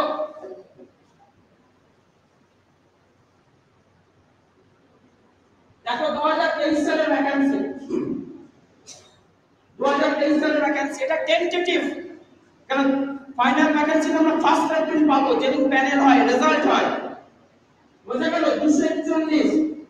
ছটা ব্যাংক এখনও ভ্যাকেন্সি ডিক্লেয়ার ছটা ব্যাংক এখনও ভ্যাকেন্সি ডিক্লেয়ার করেনি। এটা ওয়েস্ট বেঙ্গলের ভ্যাকেন্সি দেখাচ্ছি। ছটা ব্যাংক এটা যখন ফাইনাল প্যানেল হবে ফার্স্ট এপ্রিল এটা থাউজেন্ডের কাছাকাছি চলে যাবে। এখন দেখো দুশো একচল্লিশ। বাইশে দেখো পাঁচশো আঠাশ। বাইশটা কিন্তু হাফ কোভিড এফেক্টেড ইয়ার ছিল। তাতেও কিন্তু এক্সাম একইভাবে হয়েছে এবং more than five hundred student selected হয়েছে। একুশে দেখো ফুল কোভিড এফেক্টেড ইয়ার তাতেও ভ্যাকেন্সি দেখো পাঁচশো ষোলো। তাহলে প্যান্ডেমিক যে সময়টা মানুষের সার্ভাইভ করাটা টাফ হয়ে গেছিল, সেই সময়টাও কিন্তু ছেলে মেয়েরা চাকরি পেয়েছে। আর কিছু কিছু দপ্তর পরীক্ষা বন্ধ করে রেখে দিয়েছিল। তাহলে এই হচ্ছে আইবিপিএস বোঝা গেল? কিছু আইডিয়া তৈরি হলো? আর বলতে গেলে অনেক বিষয় বলার রয়েছে, কিন্তু অত সময় আমাদের কাছে আজকে নেই। জাস্ট আমাদের একটা ওভারভিউ দেওয়ার চেষ্টা করছি যে আমরা প্রতিনিয়ত ব্যাংকে যাচ্ছি, কাজ করছি। স্যার ম্যাডাম স্যার ম্যাডাম বলছি, কিন্তু তারা কি করে হচ্ছে একটাই প্রশ্ন? আমাদের কোনো ধারণা নেই। আমরাও কিন্তু আগামী দিনে হচ্ছে একটাই বুঝতে পারি। তাহলে সমস্ত ব্যাংকিং ইন্স্যুরেন্স সেক্টরে এই আইবিপিএস এক্সাম কন্ডাক্ট করছে। এজ লিমিট রয়েছে, যেটা আমি বলে দিই। ভীষণ ইম্পর্টেন্ট একটা জায়গা। টোয়েন্টি এইট ক্লার্কাল পরীক্ষা দেওয়ার। আঠাশ বছর বয়স পর্যন্ত পরীক্ষা দেওয়া যায় ব্যাংক ক্লার্কের তিরিশ বছর বয়স পর্যন্ত অফিসার র্যাঙ্কের পড়তে হয় আমাদের কি কি? Math English reasoning GK math English reasoning GK just সিলেবাসটা মন দিয়ে দেখে যাও। এরপরে আমি স্টাফ সিলেকশন দেখাবো ডব্লিউবিসিএস দেখাবো। তারপর আমি সিলেবাস নিয়ে আবার কথা বলব। ওকে নেক্সট আমি চলে যাব স্টাফ সিলেকশন বেশ কয়েকজন হাত তুলেছিলেন যখন আমি বললাম, সিজিএল পরীক্ষা সম্পর্কে কারা জানো? সিএইচএস এর পরীক্ষা সম্পর্কে কারা জানো? আজকে সেইটা আমরা আরেকটু ডিটেলসে জানি স্টাফ সিলেকশন করতে স্টাফ সিলেকশন কমিশন বা এসএসসি স্কুল সার্ভিস কমিশন না এএসএসসি হচ্ছে স্টাফ সিলেকশন কমিশন। তিনটে করে পরীক্ষা প্রত্যেক বছর হয়। CGL CHSL MTS CGL CHSL MTS CGL হচ্ছে কম্বাইন্ড গ্র্যাজুয়েট লেভেল। সেন্ট্রাল গভর্নমেন্টের বিভিন্ন ডিপার্টমেন্টে অফিসার র্যাঙ্কের জব এই সিজিএল এর মাধ্যমে হয়। গ্র্যাজুয়েট হলে তবে এই পরীক্ষাটা দেওয়া যায়। আমরা কি দেখছি? CGL combined graduate level. CHSL combined higher secondary level উচ্চ মাধ্যমিক পরীক্ষা পাস করার পর এই পরীক্ষাটা দেওয়া যায় সিএইচএসএল এমটিএস মাল্টিটাস্কিং স্টাফ এটা কোয়ালিফিকেশন হচ্ছে মাধ্যমিক। তুমি মাধ্যমিক কোয়ালিফিকেশনে এই পরীক্ষাটা দিতে পারো। সিজিএল হচ্ছে সেন্ট্রাল গভর্নমেন্টের বিভিন্ন ডিপার্টমেন্ট যেমন post office income tax CPWD audit account telecom department যেগুলো স্পোর্টস সেন্ট্রাল গভর্নমেন্টের ডিপার্টমেন্ট সেই ডিপার্টমেন্টগুলোতে অফিসার র্যাঙ্কের চাকরি হয় এই সিজিএল এর মাধ্যমে। সিএইচএসএল এমপিএস ওই দপ্তরগুলোতে ক্লারিক্যাল র্যাঙ্ক তিনটে করে পরীক্ষা প্রত্যেক বছর হয় এভরি ইয়ার এভরি ইয়ার এবং বছরের শুরুতে তারা পুরো ক্যালেন্ডার পাবলিশ করে দেয়। কোন পরীক্ষার কবে নোটিফিকেশন আসবে, কবে পরীক্ষা হবে, কবে রেজাল্ট বেরোবে। ভিশন সিস্টেমেটিক ভিশন সিস্টেমেটিক তোমাকে অপেক্ষা করতে হবে না, কবে নোটিফিকেশন আসবে। তোমাকে অপেক্ষা করতে হবে না প্রিলিমস হয়ে গেল প্রিলিমস এর রেজাল্ট কবে বেরোবে। আইবিপিএস যদি ছ থেকে আট মাসের মধ্যে প্রসেস কমপ্লিট করে, এরা দশ থেকে বারো মাস, আট থেকে দশ মাসের মধ্যে প্রসেস কমপ্লিট করে। প্রত্যেক বছর পরীক্ষা হয়। এই বছরও এপ্রিল থেকে নোটিফিকেশন আসতে শুরু হয়ে যাবে। এই তিনটে পরীক্ষা। এর বাইরেও আরও দুটো পরীক্ষা হয়। এসএসসি জিডি আমি যেটা বললাম। এসএসসি জিডিটা কি? এই যে বিভিন্ন যে ডিফেন্স লাইনে সিআইএসএ বিএসএফ এই যে দপ্তরগুলো রয়েছে, তার কনস্টেবল র্যাঙ্কের চাকরি হয়। আর এগুলো হচ্ছে পিওর অফিস জব কিছু আইডিয়া হচ্ছে আমাদের? শুনছি মন দিয়ে? না ভাবছি যে কখন হল থেকে বেরোবো? কে কে ভাবছে কখন হল থেকে বেরোবো? ওকে তাহলে এই স্টাফ সিলেকশন তাহলে স্টাফ সিলেকশনের মাধ্যমে কোথায় কি ধরনের চাকরি হয়, মোটামুটি আমরা বুঝতে পারলাম। এবারে প্যাটার্নটা একটু দেখব না দেখব না? চলো। একদম প্যাটার্নটা দেখে নিই।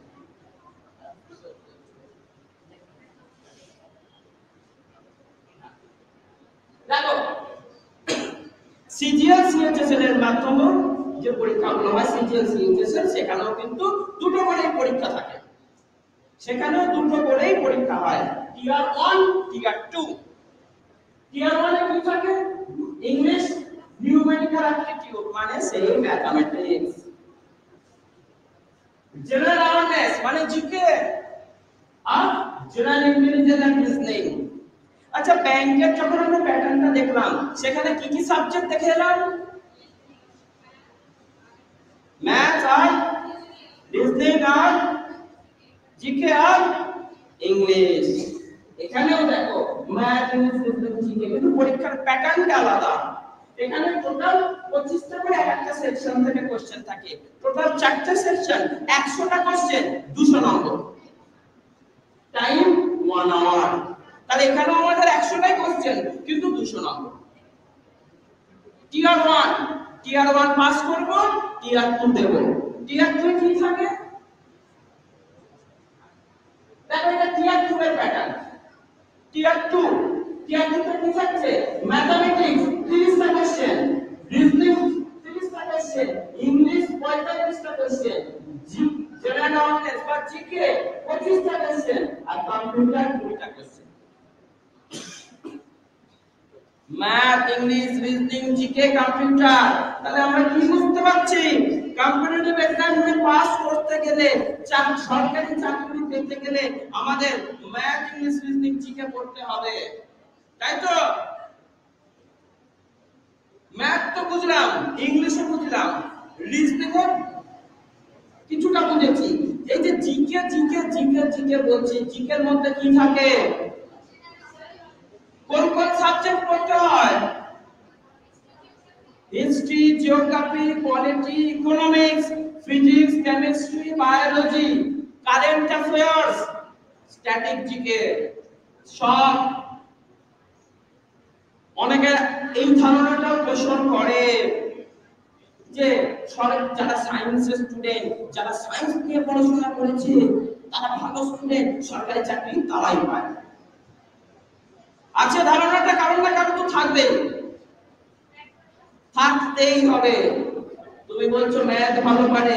আচ্ছা ম্যাথ যখন তারা ভালো পারে, শুধু ম্যাথ দিয়ে তো চাকরি হয় না। ইংলিশটাও তো দরকার। রিজনিংটাও তো দরকার এবং জিকেটাও দরকার। যারা আর্টস পড়েছে, তারা পলিটি পড়েছে।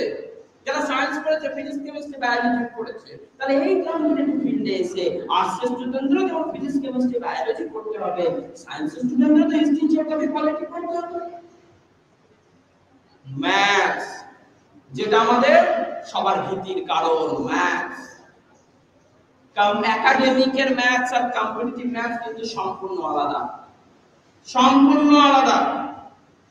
আজকে যে ম্যাথস অনার্স করে এসেছে না, ধরো তোমাদের পাশে একজন বসে আছে, যে ব্যাংকের পরীক্ষা দিচ্ছে বা স্টাফ সিলেকশন বা ডাব্লিউবিসি দিচ্ছে, সে ম্যাথস অনার্স করে এসেছে। তুমি বেঙ্গলি বা হিস্ট্রি বা জিওগ্রাফি অনার্স করে এসেছ। এবার যে ম্যাথস অনার্স করে এসেছে, ও ম্যাথ জানে, কিন্তু শর্টকাট অ্যাপ্রোচ জানে না। Comparative maths means shortcut approach shortcut technique নয়।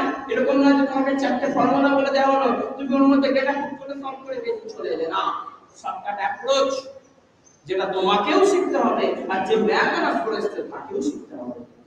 কম্পারেটিভ ম্যাথ মানে অ্যারিথমেটিক মানে পাটিগণিত, পরিমিতি মানে বা পরিমিতি জিওমেট্রি বা ট্রিগোনোমেট্রি তার সাথে কিছু জিনিস অ্যাড হয় ডেটা অ্যানালাইসিস ডেটা ইন্টারপ্রিটেশন তাহলে ম্যাথ নিয়ে তোমাদের যে একটা ভিটি রয়েছে, সেই ভিটিটাকে কাটিয়ে উঠতে হবে এবং যে ভুল ধারণা রয়েছে, সেইটাকেও ছাড়তে হবে।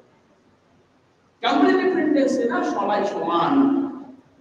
যে ধরো কমার্স ব্যাকগ্রাউন্ড থেকে এসেছে, সে কি সরকারি চাকরি পাবে না? সে তো গ্র্যাজুয়েশনে যা সাবজেক্ট পড়েছে, তার মধ্যে ইকোনমিক্স তো কিছুই লাগে না কম্পিউটার ফিল্ডে আর ম্যাথ থাকে সেখানে। তাহলে ম্যাথস আর ইকোনমিক্স তাহলে সে কি সরকারি চাকরি পাবে না? সরকারি চাকরির পরীক্ষায় স্ট্রিমটা ম্যাটার করে না। স্ট্রিমটাই সবকিছু নয়। সরকারি চাকরির প্রস্তুতি যখন তোমরা নেবে না, তোমাদের চিন্তা ভাবনা তোমাদের পরিশ্রম, আর তুমি সঠিক গাইডেন্সে আছো কিনা this is very very important this is very very important আমরা একটা কথা ভীষণ শুনি হার্ড ওয়ার্ক গিভস রেজাল্ট শুনেছি তো? পরিশ্রমী সফলতার কি চাবি তাহলে হার্ড ওয়ার্ক গিভস রেজাল্ট কথাটা কি ঠিক না ভুল? আমি যদি বলি ভুল আমি যদি বলি ভুল প্রমাণ করে দেবো ভুল ধরো তুমি ব্যাংকের পরীক্ষা দেবে বোঝা গেল তুমি ব্য- ব্যাংকের পরীক্ষার জন্য কি করতে হয় ম্যাথ ইংলিশ রিজনিং যথেষ্ট ভালো করে করতে হয় তার সাথে জিকে ওকে তুমি ডাব্লিউবিসিএস পরীক্ষা দেবে সেখানে ম্যাথ ইংলিশ রিজনিং এর ওয়েটেজটা একটু কম ওকে জিকের ওয়েটেজটা ভীষণ বেশি। তার মানে ম্যাথ ইংলিশ প্রয়োজন পড়বে না তা নয়। ধরো তুমি ব্যাংক প্রিলি পরীক্ষা দিতে যাবে আইবিপিএস প্রিলি পরীক্ষা দিতে যাবে, পঁচিশ নম্বর ম্যাথ পঁচিশ নম্বর ইংরেজি, পঁচিশ নম্বর রিজনিং পঁচাত্তর নম্বর, পঁচিশ নম্বর জিকে সরি ব্যাংক প্রিলিতে জিকে থাকে না স্টাফ সিলেকশনে থাকে। তাহলে ব্যাংক প্রিলি তুমি একশো নম্বরের পরীক্ষা দেবে পঁয়ত্রিশ নম্বর ম্যাথ পঁয়ত্রিশ নম্বর রিজনিং তিরিশ নম্বর ইংলিশ রাইট বোঝাতে পারছি? তুমি এবার দেখা যাচ্ছে তুমি প্যাটার্নই জানো না। তুমি হিস্ট্রি জিওগ্রাফি পলিটি ইকোনমিক্স সব পড়ে গেলে। ম্যাথও করলে রিজনিংও অল্প বিস্তর করলে ইংলিশও করলে। তুমি প্রচুর পরিশ্রম করলে, দিনে দশ ঘণ্টা, বারো ঘণ্টা করে করলে এবার তুমি পরীক্ষা দিতে গেছো আইবিপিএস ক্লার্কের প্রিলিমস তুমি পাস করতে পারবে? পারবে না পারবে না? কেন করবে না? তুমি তো হার্ড ওয়ার্ক করেছ। তুমি এক বছর ধরে আট ঘণ্টা, দশ ঘণ্টা করে পড়াশোনা করেছ। হিস্ট্রি জিওগ্রাফি গুলো খেয়ে নিয়েছো? বাকি কারেন্ট অ্যাফেয়ার্স দুর্দান্ত পড়েছো ম্যাথ রিজনিংও করেছ। তাহলে কেন পাস করবে না? ইয়েস তাহলে সেন্টেন্সটাকে একটু চেঞ্জ করো। Hard work in right direction gives result hard work in right direction gives result তোমাকে হার্ড ওয়ার্ক করতে হবে ডেফিনেটলি কিন্তু সঠিক ডিরেকশনে সঠিক লাইনে। তাহলে কথাটা ঠিক না ভুল? পুরোটা ঠিক নয়। পুরোটা ভুল। জাস্ট একটু মডিফাই করতে হবে। Hard work in right direction তাহলে তুমি যে পরীক্ষা দেবে, সেই পরীক্ষার প্যাটার্ন অনুযায়ী তোমাকে প্রিপারেশন নিতে হবে নিতে হবে। বোঝাতে পারলাম? তাহলে ব্যাংক সাবসিডেশন সম্পর্কে মোটামুটি আইডিয়া হলো।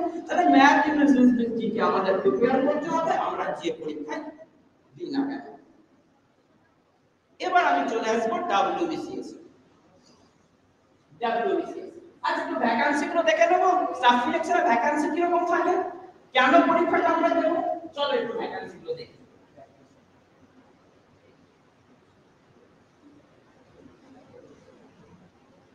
দেখে দেখো, এটা হচ্ছে সিজিএল পরীক্ষার ভ্যাকান্সি দু হাজার একুশ সালে ভ্যাকান্সি থাকবে সাত হাজার সালে ভ্যাকান্সি থাকবে সাঁত্রিশ জাম্প করে দু হাজার বাইশ সালে একটা হিউজ জাম্প করে। এটা মাঝে মাঝে পড়ে। পাঁচ বছর, সাত বছর পর পর পড়ে। তাই বলে আমরা আমি কিন্তু তোমাকে কখনো বলব না, প্রত্যেক বছর সাঁত্রিশ হাজার ভ্যাকান্সি থাকে এটা বললে ভুল বলা হবে। মোটামুটি সাত হাজার, আট হাজার ন হাজার ভ্যাকান্সি আমরা দেখব প্রত্যেক বছর। এটা দু হাজার তেইশের ভ্যাকান্সি দেখো, আট হাজার চারশো চল্লিশ। তাহলে একুশ সালে দেখো সবচেয়ে বিরাট তারপরে কিন্তু ছেলেমেয়েরা চাকরি পেয়েছে। তাহলে সরকারি চাকরি নেই বা হয় না, আমরা কিন্তু বলতে পারব না। আমরা চোখের সামনে দেখছি।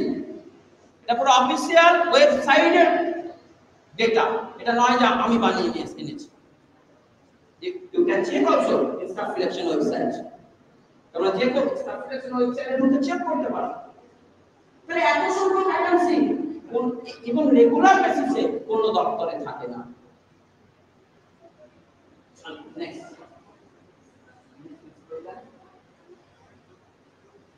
সিএইচএস দেখো নাও। কম্বাইন্ড হায়ার সেকেন্ডারি লেভেল এটা উচ্চ মাধ্যমিক দেওয়া যায় এই পরীক্ষাটা। দেখো দু হাজার দেখো ছ হাজার দু হাজার বাইশ, ছত্রিশ হাজার দু এটা কিছুটা যখন ফাইনাল প্যানেল হবে।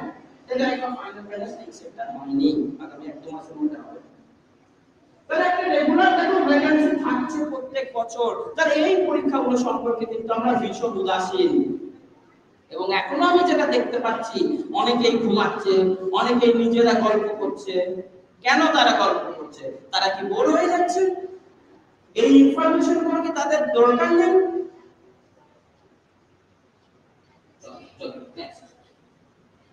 নেক্সট আসবে ডাব্লিউবিসিএস এর। ডাব্লিউবিসিএস যখন আমি বললাম তখন কিন্তু অনেকেই হাত তুলেছিল। তুলেছিল তো? আচ্ছা ডাব্লিউবিসিএস প্রিলিমস পরীক্ষাটা কত নম্বরের হয়? কেউ জানে? কেউ জানে ডাব্লিউবিসিএস প্রিলিমস পরীক্ষাটা কত নম্বরের হয় জানে না জানে না জানে না পরীক্ষাটার নাম অনেকে জানে না। কারোর কি চিন্তা ভাবনা রয়েছে যে আমি নিয়ার ফিউচার ডাব্লিউবিসিএস এর প্রিপারেশন নেব। আছে কারোর পেপার চিন্তা ভাবনা আছে। তাহলে ইচ্ছা আছে সেই পথে এগোতে গেলে সবার আগে তোমাকে বিষয়টা সম্পর্কে জানতে হবে। জানতে হবে। আমি সিলেবাস প্যাটার্ন জানলাম না, আমি হিস্ট্রি জিওগ্রাফি পলিটি পড়তে শুরু করলাম। ডাব্লিউবিসিএস প্যাটার্ন বলার আগে আমি কিছু বিষয় বলব। বা বলতে পারো তোমাদের আমি সতর্ক যেটা আমরা আশেপাশে শুনতে পাই ডাব্লিউবিসিএস পাস করতে গেলে নাকি শুধু হিস্ট্রি পড়তে হয়? বা হিস্ট্রির ওয়েটেজটা সব থেকে বেশি ডাব্লিউবিসিএস উচ্চ মাধ্যমিক পাস করার পর অনেককে এই সাজেশনও দেওয়া হয় যে ডাব্লিউবিসিএস পরীক্ষা দিতে চাস তাহলে হিস্ট্রি অনার্স নিয়ে বা পলিটি অনার্স নিয়ে তাহলে ডাব্লিউবিসিএস পরীক্ষা ভীষণ সুবিধা পাবে। ডাব্লিউবিসিএস পরীক্ষা পাস করতে গেলে ম্যাথ দরকার পড়ে না। তুই ম্যাথ দুর্বল, তাহলে ডাব্লিউবিসিএস এর প্রিপারেশন নে তোমরাও হয়তো শুনবে, খুব তাড়াতাড়ি, যদি না শুনে থাকো। এটাও ভুল। এটাও আজকে আমি তোমাদের দেখিয়ে দেবো। ডাব্লিউবিসিএস প্রিলিমস দুশো নম্বরের আটটা পেপার থাকে। দুশো নম্বরের পরীক্ষা হয়, আটটা পেপার থাকে। তোমাদের দেখো, চোখের সামনে রয়েছে আটটা পেপার। দেখো, আটটা paper. English twenty five marks general science twenty five marks current affairs twenty five marks history of India twenty five marks geography twenty five marks Indian polity and economics twenty five marks ILF international এটা হচ্ছে history এটাও history modern history যেটাকে বলছে 25 marks আর general mental ability 25 marks এটা হচ্ছে WBCS এর prelims এর প্যাটার্ন কিছু কিছু জায়গা হয়তো আমরা বুঝতে পারলাম না। দেখো ইংলিশ 25 নম্বর, বুঝতে পেরেছ? জেনারেল সায়েন্স এখানে কি কি থাকে? Physics chemistry biology current affairs current affairs আমরা মোটামুটি জানি, দৈনন্দিন যে ঘটনা ঘটছে, সেই দৈনন্দিন ঘটনা। আচ্ছা হিস্ট্রি অফ ইন্ডিয়া? এটা হচ্ছে ancient and medieval history okay তার সাথে geography 25 marks Indian polity and economics polity and economics 25 marks Indian national movement বা আইএনএম 25 মার্কস এটাও হিস্ট্রি এটাও হিস্ট্রি এটাও মডার্ন হিস্ট্রি ওকে আর জেনারেল ক্যাপাবিলিটি মানে ম্যাথ আর রিজনিং ম্যাথ আর রিজনিং এবার তোমরা আমাকে বলো, ইংলিশ থেকে কত নম্বর? 25 ম্যাথ রিজনিং থেকে কত নম্বর? 25 হিস্ট্রি থেকে কত নম্বর? কত নম্বর? 25 25 50 তাহলে হিস্ট্রি অফ ইন্ডিয়া 25 নম্বর আর আইএনএম 25 নম্বর। তাহলে অ্যানসিয়েন্ট মিডাইভাল 25 নম্বর মডার্ন হিস্ট্রি 25 নম্বর। তাহলে কত নম্বর? 50 তাহলে 200 এর মধ্যে হিস্ট্রি কত? ম্যাথ রিজনিং কত? ইংলিশ কত? জেনারেল সায়েন্স কত? জিওগ্রাফি কত? তাহলে সব থেকে বেশি নম্বর কে ক্যারি করছে? হিস্ট্রি তাহলে কে ভুল হলো? আমি ভুল হলো না? যারাই কথা বলে তারা ভুল হলো। আমি ভুল। কেন দুশোর মধ্যে পঞ্চাশ নম্বর হিস্ট্রি রাইট তাহলে আমি ভুল?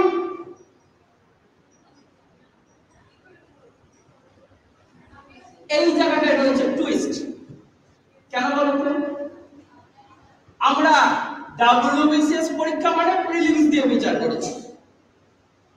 আমরা ডাব্লিউবিসিএস পরীক্ষা মানে শুধু প্রিলিমস এর কথা ভাবি। এরকম অনেক কলেজে আমার আমার এক্সপেরিয়েন্স হয়েছে যে তারা অলরেডি সেকেন্ড ইয়ার বা থার্ড ইয়ারে পড়ছে ডাব্লিউবিসিএস এর প্রিপারেশন নিচ্ছে। অথচ ডাব্লিউবিসিএস এর মেন্স এক্সামটা কত নম্বরের হয় সেটাই জানে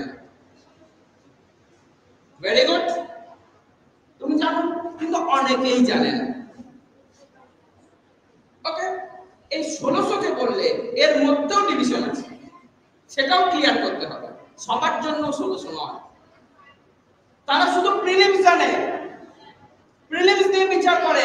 প্রিলিমস দুশোর মধ্যে পঞ্চাশ নম্বরই হিস্ট্রি দুশোর মধ্যে পঞ্চাশ নম্বর হিস্ট্রি তারা হবে ডাব্লিউবিসিএস পাস করতে হিস্ট্রি ভালো করে পঁচিশ নম্বর ইংলিশ পঁচিশ নম্বর ম্যাথ জিআই পঁচিশ নম্বর সায়েন্স আমি মানলাম প্রিলিমসে হিস্ট্রি বেশি মার্কস ক্যারি করছে। কিন্তু কোন ডাব্লিউবিসিএস পাস করতে গেলে শুধু প্রিলিম পাস করলে হবে? এইটাই তো হয়। প্রত্যেক বছর মুর্শিদাবাদ থেকে যে সংখ্যক ছেলে মেয়ে ডাব্লিউবিসিএস প্রিলিমস দেয়, তার 10 টু 15% ছেলে মেয়ে মেন্স দেয়। তাহলে আমরা মেন্সের প্যাটার্নটা দেখি। তারপর আবার প্রমাণ হবে কে ঠিক কে ভুল। চলো মেন্সে মেন্সের ছটা কম্পালসারি পেপার ছটা কম্পালসারি পেপার মানে সবাইকে দিতে হবে। সবাইকে বলতে ডাব্লিউবিসিএস এর চারটে গ্রুপ থাকে A B C D okay তাহলে ছটা ছটা পরীক্ষা কিন্তু ছটা পেপার কিন্তু সবাইকে দিতে হবে। ছটা কম্পালসারি পেপার এক একটা পেপার কি দুশো নম্বর? তাহলে ছটা বারোশো নম্বর। দেখি সেখানে কি আছে? Paper one Bengali Hindi Urdu Nepali মানে তুমি যে কোনো একটা চয়েস করতে পারো। তাহলে বেঙ্গলি কত? দুশো নম্বর? ডেসক্রিপটিভ এমসিকিউ নয় প্রিলিমস পুরোটা MCQ mains paper one paper two descriptive three four five six objective বা এমসিকিউ বোঝা গেল? তাহলে paper one Bengali descriptive two hundred marks paper two English two hundred marks descriptive paper three থেকে কিন্তু MCQ হয়ে গেল। Paper three general studies one history geography hundred marks history hundred marks geography note করে রাখবে, যদি মনে না থাকে, পরে আমি জিজ্ঞেস করব। Hundred marks history hundred marks geography paper four studies two মানে এখানে physics chemistry biology science and technology current affairs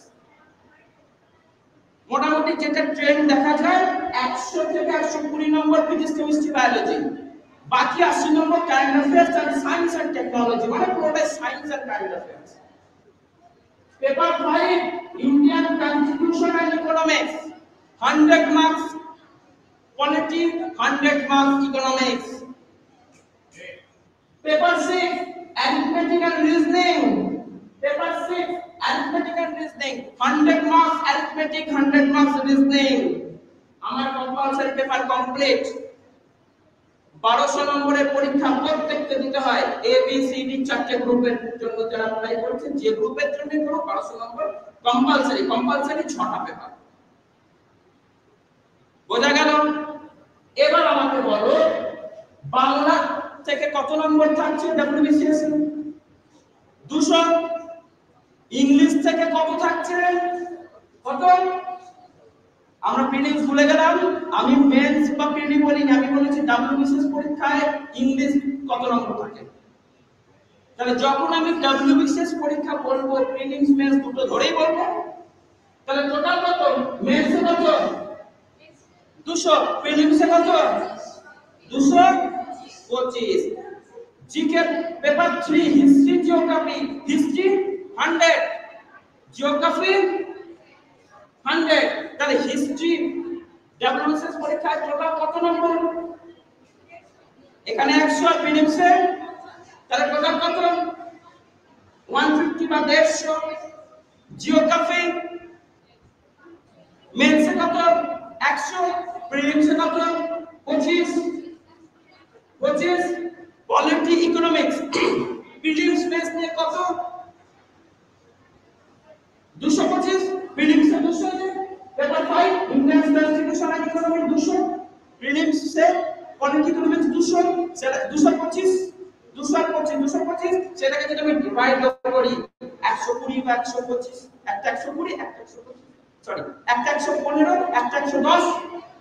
প্রিলিমসে যেটা করে হয়তো পনেরোটা দিল পলিটি থেকে, দশটা দিল ইকোনমিক্স থেকে। এত কথা কেন? ভুলে যাচ্ছে সবকিছু তাহলে তাহলে ইকোনমিক্স পলিটি মিলে টোটাল কত? দুশো পঁচিশ? আচ্ছা। ম্যাথ আর রিজনিং কত? ম্যাথ আর রিজনিং মেন্সে দুশো প্রিলিমসে পঁচিশ তাহলে কত? দুশো পঁচিশ। এবার আমাকে বলো সব থেকে বেশি মার্কস কে ক্যারি করছে? ইংলিশ। দুশো পঁচিশ। হিস্ট্রি কত? একশো পঞ্চাশ। তাহলে আমি ডাব্লিউবিসিএস পাস করতে গেলে হিস্ট্রি শুধু করলে পাস করা যাবে। তাহলে আমি কেন বলব না? ডাব্লিউবিসিএস পাস করতে গেলে ইংলিশ বেশি করে করতে হবে। কেন আমি বলব না ডাব্লিউবিসিএস পাস করতে গেলে ম্যাথ ভালোভাবে করতে হবে? কারণ দুশো আর পঁচিশ, দুশো পঁচিশ? একটা সিম্পল কথা আমি যেটা বলব, ডাব্লিউবিসিএস এমন একটা পরীক্ষা যেটা পাস করতে গেলে তোমাকে সব সাবজেক্ট সমান গুরুত্ব দিয়ে করতে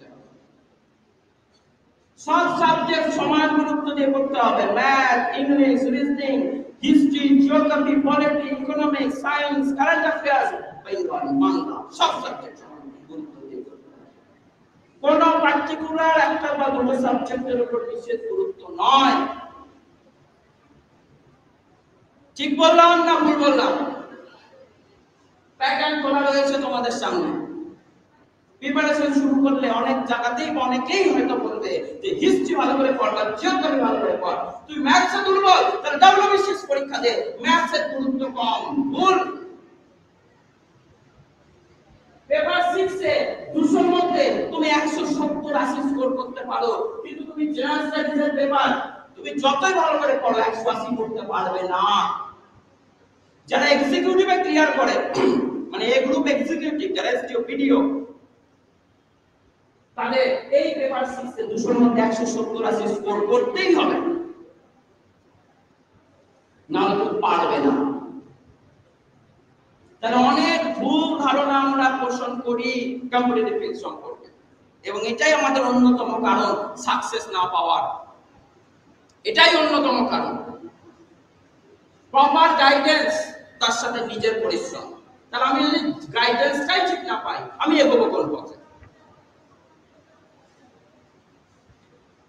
বাকি রয়ে গেল অপশনাল পেপার সবার জন্য নয়, যারা এ গ্রুপ বা বি গ্রুপের জন্য।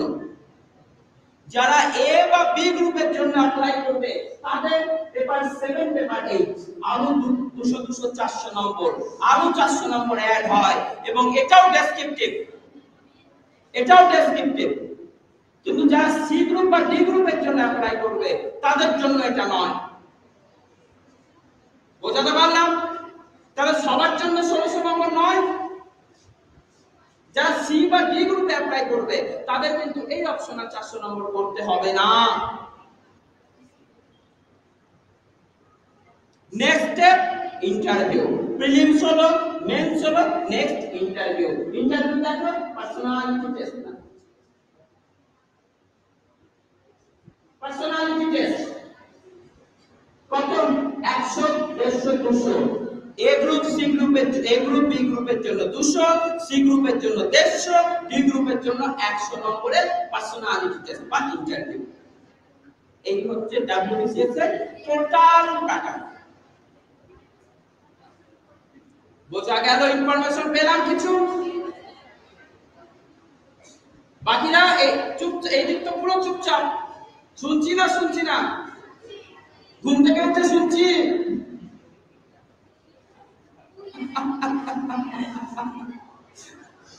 ঘুম নয়। এখন যদি ঘুমিয়ে থাকো, ভবিষ্যৎটাও ঘুমিয়ে থাকবে। নিশ্চয়ই আমরা সেটা চাই ঠিক আছে? সিরিয়াসলি একটু শোনো। হয়তো তোমরা আগামী দিনে কেউ সরকারি চাকরির লাইনে যাবে বা কেউ যাবে না। যারা যাবে না, তারাও হয়তো আজকের সেশনটা অ্যাটেন্ড করার পর চিন্তা ভাবনা পরিবর্তন হতে পারে। আমি আশা করব, আমি চাইব একটু সিরিয়াসলি শুনবে বা বুঝবে আমি একদিনে তোমাদের সব শিখিয়ে দিতে পারব না, এটা সম্ভব নয়। কিন্তু কিছুটা আইডিয়া দিতে পারব, এই জন্যই আমাদের এখানে আসা। এত কথা কেন হচ্ছে? আমি কি ভীষণ বোর করে দিচ্ছি? সবাইকে খুব বোর হয়ে যাচ্ছ? তাহলে এত কথা কেন বলছি? তাহলে ডাব্লিউবিসিএস প্যাটার্ন বোঝা গেল। এরপর বলব আমরা, ডাব্লিউবিসিএস প্রিলিমস করতে হবে, শুধু হিস্ট্রি পড়তে হবে, ডাব্লিউবিসিএস পাস করতে গেলে শুধু হিস্ট্রি পড়তে হবে। না, কেউ যদি বলে, তাকে আমরা ভুলটা ধরিয়ে দেবো। পারব তো? না, পারব না। ভেরি গুড আইবিপিএস সম্পর্কে জানতে পেরেছি? একটু একটু কারোর ইচ্ছা হচ্ছে যে আইবিপিএস পরীক্ষাটা ট্রাই করার। একজনও যদি একজনও যদি আইবিপিএস পরীক্ষাটা সম্পর্কে ইন্টারেস্ট গ্রো করে এবং পরীক্ষার প্রিপারেশন শুরু করে। আমরা বুঝব আজকে আমাদের এখানে আসাটা এবং কলেজের এই সময় দেওয়াটা সাকসেস একজনও যদি, আমি দশ জন চাইব না, আমি পঞ্চাশ জন চাইব না, একজন। কারণ আমি যখন প্রথম জিজ্ঞেস করলাম আইবিপিএস একজন হাত তোলেনি? সেখান থেকে যদি আমি হয়তো আমি জানতেও পারব না। দরকার নেই আমার জানা কিন্তু একজনও যদি তোমরা আইবিপিএস পরীক্ষার প্রিপারেশন নাও এবং সাকসেস পাও, তাহলে আজকের এই সেশনটা চেষ্টা করো, স্বপ্ন দেখো। ব্যাংকে যখন যাও, ওইরকম একটা অ্যাটমসফিয়ারে তাদেরকে বসে থাকতে দেখে কেন ইচ্ছা তৈরি হয় না যে আমি কেন না? কেন আমি মাসের শেষে বিয়াল্লিশ তেতাল্লিশ হাজার টাকা স্যালারি ড্র করব না? তাও স্টার্টিং স্টার্টিং বিয়াল্লিশ তেতাল্লিশ। বছরে চারবার ইনক্রিমেন্ট সেন্ট্রাল গভর্নমেন্টে তুমি যে কোনো চাকরিতে জয়েন করো। বিয়াল্লিশ তেতাল্লিশ দিয়ে স্টার্ট করবে দু বছরের মধ্যে বা দেড় দেড় বছরের মধ্যে ওটা পঞ্চাশ ক্রস করবে। আমরাও পারি, আছে আমাদের সেই ক্যাপাবিলিটি শুধু একটু সাহস করে এগোতে হবে। তাহলে আমি মেন মেন পরীক্ষাগুলো ডিসকাস করলাম। এর বাইরেও কিছু কিছু পরীক্ষা রয়েছে। যেমন PSC class PSC miscellaneous Kolkata police দাও ওয়েস্ট বেঙ্গল পুলিশ তুমি যে পরীক্ষায় দাও, তোমাকে ম্যাথ ইংলিশ রিজনিং জিকেটা করতে হবে। এটাই মেন সিলেবাস এটাই মেন সিলেবাস এইবার এক্সাম অনুযায়ী কিছু ডিফারেন্স তো রয়েছে সেই ডিসকাশনে যাওয়ার মতো সময় আজকে আমাদের এখানে নেই। স্টাফ সিলেকশন ব্যাংক প্রত্যেক বছর পরীক্ষা হচ্ছে। দু সালে রেলের প্রচুর ভ্যাকান্সি আসছে। প্রচুর ভ্যাকান্সি আসছে রেলের। রেলের ভ্যাকান্সি প্রত্যেক বছর আসে না, প্রত্যেক বছর রেলের পরীক্ষা হয় না। তিন বছর, চার বছর পর পর হয়। লাস্ট এসেছিল দু হাজার আঠেরো উনিশে। আবার এই চব্বিশে আসতে শুরু করেছে।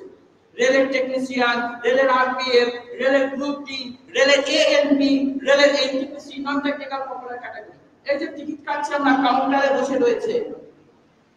তোমাকে টিকিট দিচ্ছে। তারা কি করে ওই জায়গাতে গেল? এনটিপিসি পরীক্ষার মাধ্যমে। স্টেশন মাস্টার খুব শুনি তোমরা রেল স্টেশনে একজন স্টেশন মাস্টার থাকে। কোন পরীক্ষার মাধ্যমে? ওই জায়গাতে সে পৌঁছালো এনটিপিসির মাধ্যমে। এনটিপিসির মধ্যে অনেক লেভেল রয়েছে। অনেকগুলো ওর মধ্যে পোস্ট ইনক্লুডেড থাকে। তাহলে এগুলাকে জানতে হবে। আমি জানতে পারলে তবে আমার মধ্যে ইন্টারেস্ট গ্রো করবে। আমার মধ্যে ইন্টারেস্ট গ্রো করলে তবেই আমি সেটা নিয়ে ভাববো এবং এগোবো। এবং আমি যদি সঠিকভাবে এগোই, তবেই আমি আজ থেকে দু বছর বা তিন বছর বা চার বছর পর নিজেকে সরকারি কোন দপ্তরের কর্মী হিসেবে দেখতে পাবো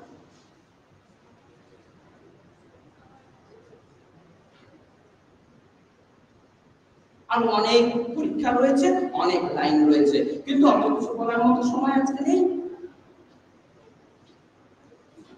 তোমাদের যদি কোনো প্রশ্ন থাকে, এবার তোমরা আমাকে জিজ্ঞেস করতে পারো।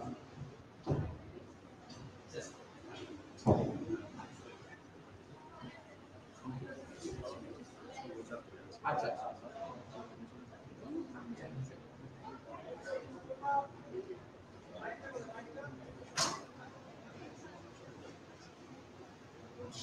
হ্যালো তোমরা অনেক অপেক্ষা করে বসে বসে আছো ওনারাও মানে অত্যন্ত অক্লান্ত ভাবে বলে চলেছে তোমাদের মধ্যে যদি কারও কোনো কোনো প্রশ্ন উঠে ঠিক আছে আমরা কিছু পরিস্থিতি অনুযায়ী চলতে হবে কারও মনে কোনো সরকারি চাকরি পরীক্ষা বা প্রস্তুতি বা পরীক্ষা কীভাবে হয় কোনো কোনো কারও কি আছে তাহলে উঠে দাঁড়াবে মানে প্রথমটা নিয়ে আমার কাছে কি আছে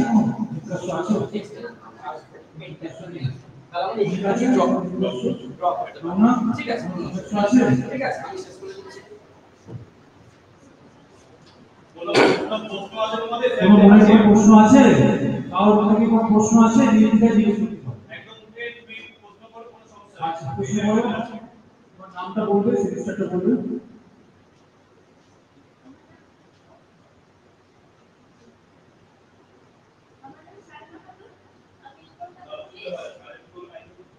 হ্যালো হ্যালো আমার নাম সারিকা খাতুন। ওকে ওকে ওকে আমি কলকাতা পুলিশের এক্সাম দেব। কোনো এক্সাম ওকে কেমন হবে?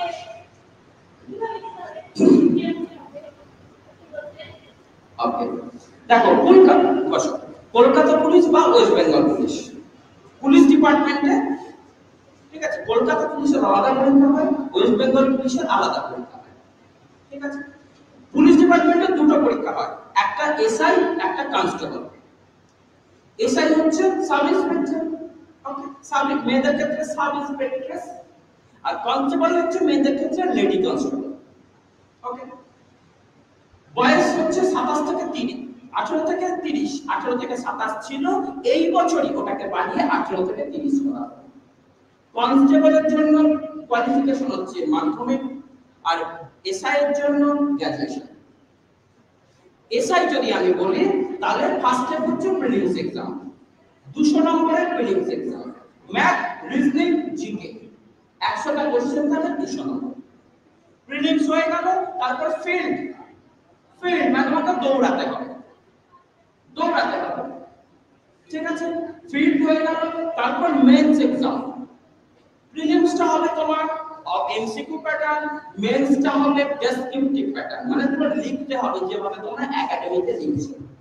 মেন্স হয়ে গেল আচ্ছা মেন্সে ডেসক্রিপটিভে কি থাকে? ইংলিশ বেঙ্গলি জিকে ম্যাথ সবই থাকে, কিন্তু সেটা ডেসক্রিপটিভ পুরো লিখতে হবে মেন্স হয়ে গেল, তারপর 30 মার্কস ইন্টারভিউ ইন্টারভিউ মানে পার্সোনালিটি টেস্ট এটা হচ্ছে এসআই এর প্যাটার্ন কনস্টেবল কনস্টেবল প্রিলিমস একশো নম্বর তারপর ফিল্ড তারপর মেন্স পঁচাশি নম্বর মেন্সটা তোমার এমসিকিউ এসআই তে যেমন মেন্সটা ডেসক্রিপটিভ হয় কনস্টেবলে কিন্তু এমসিকিউ হয়। মেন্সটা এমসিকিউ পঁচাশি নম্বর। Math English reasoning GK math পঁচিশ রিজনিং পঁচিশ জিকে পঁচিশ আর ইংলিশ দশ, অর্থাৎ পঁচাশি নম্বর মেন্স মেন্স হয়ে গেল তারপর দশ নম্বর পার্সোনালিটি টেস্ট দশ নম্বর পার্সোনালিটি এটা হলো ওয়েস্ট বেঙ্গল পুলিশ বা কলকাতা পুলিশের প্যাটার্ন একটা হাইটের ব্যাপার থাকে, একশো ষাট সেন্টিমিটার একশো ষাট সেন্টিমিটার মেয়েদের ক্ষেত্রে বোঝা গেল? ওয়ান সিক্সটি ক্লিয়ার চেস্টের একটা ব্যাপার থাকে, যেটা physical measurement test seventy six centimetre okay ঠিক আছে, যেটা রয়েছে এটা জেনারেলি কভার করে যায়, এটা ওটা নিয়ে অসুবিধা হয় যেটা তোমাকে করতে হবে রিটেন এক্সামের জন্য প্রিপারেশন নিতে হবে, আর দৌড়ানো প্র্যাকটিস করতে হবে। এই পুলিশের প্রিপারেশনে দেখো, এখানে তোমাকে আর তুমি কথা বলে রাখি। তুমি পুলিশটা মেইন টার্গেট করছ, পড়ো। এই পুলিশের প্রিপারেশনে তুমি কিন্তু আরও কতগুলো পরীক্ষা দিতে পারবে যেমন এসএসসি জিডি, আমি বেশ কয়েকবার বলেছি হ্যাঁ এসএসসি জিডি ওকে যেটা তোমার বিএসএ বিসিআইএস এর যে দপ্তরগুলো সেখানে কনস্টেবলের জব সেখানে কি? এই একই থাকে। ম্যাথ ইংলিশ রিজনিং জিকে 20 নম্বর করে চারটে পেপার 80 নম্বরের পরীক্ষা হয়। ওকে তুমি রেলের আরপিএফ দিতে পারবে। ক্লিয়ার তার সাথে ছোটখাটো পরীক্ষা। এই যে যেমন আগামী শনিবার, রবিবার ফোর্ট এসআই পরীক্ষা দিতে যাবে। এই ধরনের ছোটখাটো পরীক্ষা তুমি দিতে পারবে এই প্রিপারেশন তাহলে আমাদের সবসময় কি করা উচিত বলতো? আমরা একটা এক্সামটা মেন ফোকাস করতেই পারি। করতেই পারি। আমাদের ইচ্ছা থাকতেই পারে। আমি পুলিশ হব বা আমি বিশেষ অফিসার বা আমি ব্যাংক এমপ্লয়ি হব। কিন্তু পাশাপাশি ওই প্রিপারেশনে যে পরীক্ষাগুলো দেওয়া যায়, আমরা কিন্তু সেই পরীক্ষাগুলো দেব। ক্লিয়ার পুলিশটাকে মেইন ফোকাস রেখেও তুমি এই ধরনের পরীক্ষাগুলো দিতে পারো। মানে ম্যাথ ইংলিশ রিজনিং তোমাকে তৈরি করতেই হবে।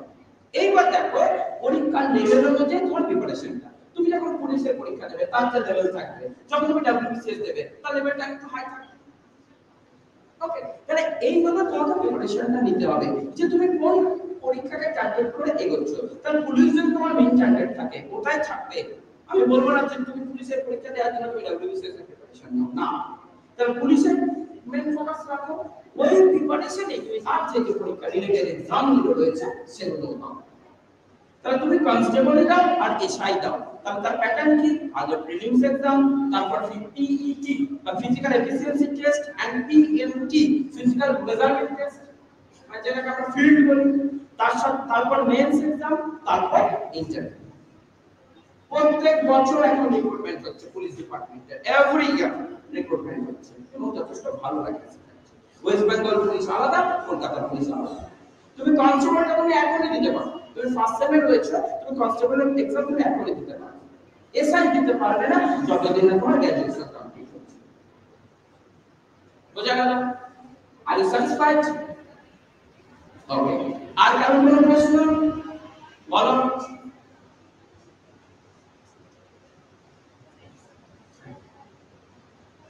বলো। নাম স্বামী ওকে ওকে এমবিএস চলে যেটা সেখানে আমাদের যে একাডেমিক স্কোরে না? না। এমটিএস সিজিএল নয়, বসো। এমটিএস সিজিএল বলে নয়, তুমি এই দিকে মানে টিচিং সেক্টরটা বাদ দিয়ে বাকি তুমি যে কোনো পরীক্ষা দাও। তুমি সাব সিলেকশনের কোনো পরীক্ষা দাও, তুমি আইবিপিএস এর পরীক্ষা দাও, তুমি ডাব্লিউবিসিএস দাও পুলিশ দাও মার্কসের কোনো ক্রাইটেরিয়া নেই। তুমি কত পেয়েছ? তার উপর তো কোনো নম্বর নেই। তুমি অনেক সময় অনেকে মনে করে যে ফিফটি পার্সেন্ট না থাকলে পরীক্ষা দেওয়া যায় না সিক্সটি পার্সেন্ট না থাকলে এই পরীক্ষা দেওয়া যায় না। কয়েকটা পরীক্ষা বাদ দিয়ে ম্যাক্সিমাম পরীক্ষাতে মার্কসের কোনো ক্রাইটেরিয়া নেই। তুমি মাধ্যমিক পাস করে থাকলেই তুমি এমটিএস দিতে পারবে, তুমি উচ্চ মাধ্যমিক পাস করে থাকলেই দিতে পারবে, তুমি গ্র্যাজুয়েশন কমপ্লিট থাকলেই তুমি সিজিএল দিতে পারবে। গ্র্যাজুয়েশন কমপ্লিট থাকলে তুমি ব্যাংকিং সেক্টরে যে কোনো পরীক্ষা দিতে পারবে। তুমি গ্র্যাজুয়েশন কমপ্লিট থাকলে WBCS West Bengal police SI PSC miscellaneous যে কোনো পরীক্ষা। পার্টিকুলার কয়েকটা পরীক্ষা রয়েছে যেখানে মার্কসের ক্রাইটেরিয়া থাকে, ওই পরীক্ষাগুলো নিয়ে আমরা ইনিশিয়ালি ভাবিও না। ওকে ওগুলো ভাবনার মধ্যে আনারই দরকার নেই, আর ওই পরীক্ষাগুলো রিয়া হয়ও না। জাস্ট গ্র্যাজুয়েশন কমপ্লিট করো আর যে পরীক্ষা তুমি প্রিপারেশন নিতে চাইছো, সেই পরীক্ষার জন্য নিজেকে প্রিপেয়ার করো। একটা বছর সঠিক গাইডেন্সে থেকে, সঠিক গাইডেন্সে থেকে প্রিপারেশন নাও এক্সাম দিতে শুরু করো। মার্কসের কোনো ক্রাইটেরিয়া নেই। বলো, আর কারোর কোনো প্রশ্ন?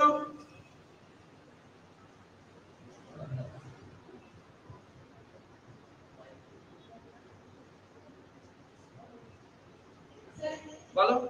WBCS এর যে সিলেবাস চেঞ্জিং আমরা বিষয়টা শুনছিলাম সেটা বিষয়ে আপনি একদম। ওটা আমি শেষে বলতাম। দেখো সিলেবাস চেঞ্জ নিয়ে এখনই ভাবার দরকার নেই। এখনই ভাবার দরকার নেই। যেটা আমিও দেখছি বিভিন্ন জায়গা থেকে ভাবানো হচ্ছে না। দু হাজার চব্বিশের পরীক্ষা পুরনো প্যাটার্নে হচ্ছে। দু হাজার চব্বিশের পরীক্ষা পুরনো প্যাটার্নে হচ্ছে। যেটা শোনা যাচ্ছে যেটা শোনা যাচ্ছে পঁচিশ থেকে প্যাটার্ন চেঞ্জ হবে। আমি পার্সোনালি এখনও মনে করছি না, পঁচিশ থেকে হবে, হতেও পারে। আমার মনে করা না করাতে কারোর কিছু এসে যায় না। সিদ্ধান্ত নেবে পিএসসি তবে আমি যতটুকু পিএসসি ট্রেন্ড বুঝি, তাতে আমার মনে হচ্ছে না পঁচিশে গিয়েও সেটা হবে। তো ওই জন্য এখনও আমরা পুরনো প্যাটার্নেই প্রিপারেশন করাচ্ছি এবং করাবো। যেদিন পিএসসি ইন্টিমেশন দেবে আমার প্যাটার্ন ফাইনালি চেঞ্জ হচ্ছে, এই ইয়ার থেকে আমরা নতুন প্যাটার্নে সুইচ করব। এখনও পর্যন্ত বিএসসি একাডেমি পুরনো প্যাটার্নই প্রিপারেশন নিচ্ছে। কারণ এবছর পরীক্ষা দিতে হবে তো। এখন থেকে ছেলেমেয়েদের আমরা ডেসক্রিপটিভ পড়াতে শুরু করলাম। তো চব্বিশের পরীক্ষা কি করে দেবে? আর বিএসসি ভীষণ বড়াটাই ওকে চেঞ্জ করবে বলছে শেষ করতে না বোঝা গেল? আর যে কোনো বোর্ড যখনই সিলেবাস চেঞ্জ করে, সময় দেয় কারণ তারাও জানে ছেলে মেয়েদের প্রিপারেশন নিতে সময় লাগবে। হঠাৎ করে তিন মাস আগে বলবে না যে বছর নতুন প্যাটার্নে পরীক্ষা হবে। যদি পঁচিশে পরীক্ষা নতুন প্যাটার্নে হয়, যদি আমরা একটা বছর সময় পাই এনাফ এনাফ কারণ কি বলতো? প্রিলিমসের পর মেন্স আরও ছ থেকে আট মাস সময়। ধরো আমি পঁচিশে নতুন প্যাটার্নে দেবো প্রিলিমসটা পুরোনো প্যাটার্নই হবে মেন্সটা চেঞ্জ করবে। প্রিলিমসটা হবে পঁচিশের শেষের দিকে গিয়ে। মেন্স হতে হতে ছাব্বিশ। তাহলে আমরা এরা ট্রেন পেয়ে যাচ্ছি।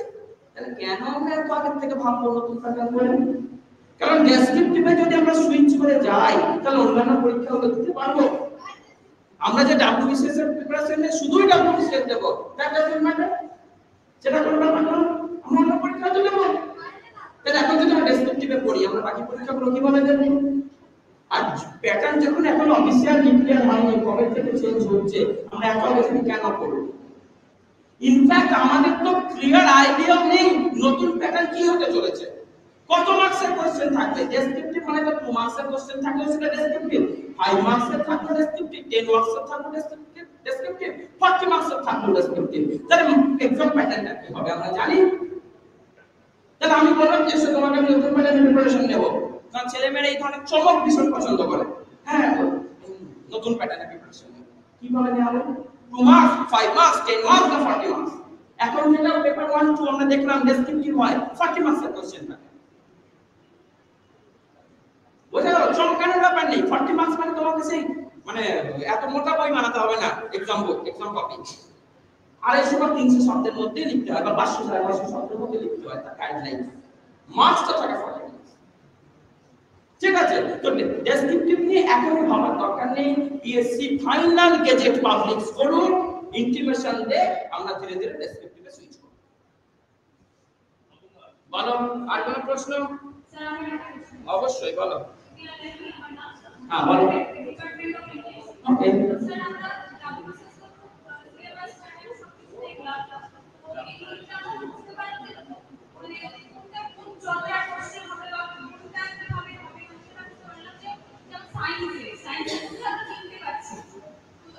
মানে আমার ইংলিশটা কি থাকে? মানে কি থাকে? মানে ইংলিশে তো বোঝা যাচ্ছে না কি থাকে। তো ইংলিশটা ভেরি গুড কোশ্চেন দেখো এর যেটা প্যাটার্ন ইংলিশ প্রিলিমসটা থাকে অবজেক্টিভ ওকে ইংলিশ প্রিলিমসে থাকে অবজেক্টিভ 25 নম্বর অবজেক্টিভ এমসিকিউ কোশ্চেন সেখানে কি থাকে? এরর কারেকশন থাকে তোমাকে একটা সেন্টেন্স দিয়ে বলতো এর মধ্যে কনসেপ্ট সেখানে চারটে পার্ট আছে এ এবিসিডি কোন পার্টে ভুল রয়েছে? গ্রামাটিক্যাল মিস্টেক এরকম কোশ্চেন থাকে। সিনোনিম অ্যান্টোনিম থাকে। সিনোনিম মানে? সিনোনিম অ্যান্টোনিম মানে সেম ওয়ার্ড অপোজিট ওয়ার্ড বুঝা গেল? ন্যারেশন চেঞ্জ থাকে ভয়েস টেন্স থাকে ফিল ইন দ্য ব্ল্যাঙ্কস থাকে প্রিফিক্স সাফিক্স ঠিক আছে এই ধরনের কোশ্চেন থাকে এর ক্লোজ টেস্ট একটা হয়। সেটা এখনও আমরা দেখিনি, হয়তো আমি আর ফিউচারে দেখব। সেন্টেন্স ইমপ্রুভমেন্ট একটা সেন্টেন্স দিয়ে দিল, সেখানে চারটে পাঁচটা ওয়ার্ড একটা ফ্রেজ আন্ডারলাইন করা আছে। ওই অপশন ওই অপশনের কোন অপশনটা ওই পোর্শনটাকে যেটা আন্ডারলাইন করা আছে, সেটাকে রিপ্লেস করবে মিনিংটাকে চেঞ্জ না। এই ধরনের কোশ্চেন থাকে। পুরোটাই এমসিকিউ ইয়েস রিডিং কম্প্রিহেনশন যেটা বলছে প্যাসেজ দিয়ে দিল, তার আন্ডারে কোশ্চেন এটা প্রিলিমসে থাকে না। ওকে তাহলে পুরোটাই grammatical question filling the blanks error correction synonym antonym আর আরেকটা থাকে spelling find out the correctly spelled word চারটে ওয়ার্ড দিয়ে দিল, তিনটে ভুল, একটা সঠিক, সেই কোনটা সঠিক? বা বা, তিনটে ঠিক, একটা ভুল। কোনটা ভুল? ওকে এই ধরনের কোশ্চেন এটা হচ্ছে প্রিলিমস মেন যখন তুমি চলে যাবে সেখানে essay writing translation precis writing এগুলো এবং তুমি যে কোনো পরীক্ষা দাও ইংলিশ মানে এই ধরনের question error correction, sentence improvement, synonym, antonym, fill in the blank, sentence improvement, close test. Close test মানে কি? তোমাকে একটা প্যারাগ্রাফ দিয়ে দিল। সেই প্যারাগ্রাফের মাঝে মাঝে ব্ল্যাঙ্ক সেই ব্ল্যাঙ্কের এগেইনস্টে চারটে, পাঁচটা, চারটে করে অপশন ওই চারটে অপশনের মধ্যে কোন অপশনটা ওই ব্ল্যাঙ্কে বসালে সেন্টেন্সটার প্যারাগ্রাফটার মিনিংটা সঠিক হবে? এই বুঝতে পেরেছ? মানে তোমাকে গ্রামাটিক্যাল বেসটা তৈরি করতে হবে। একদম বেসিক লেভেল থেকে পড়তে হবে। বুঝতে পেরেছ? বলো। আর কারও কোনো প্রশ্ন থাকলে বলো। খুব ভালো ভালো প্রশ্ন পাচ্ছি। বলো। ওকে। বলো।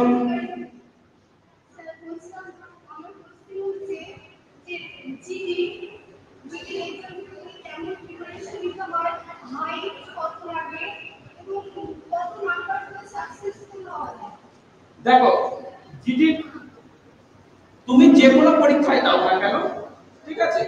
ম্যাথ ইংলিশ রিজনিং জিকে তোমাকে করতেই হবে।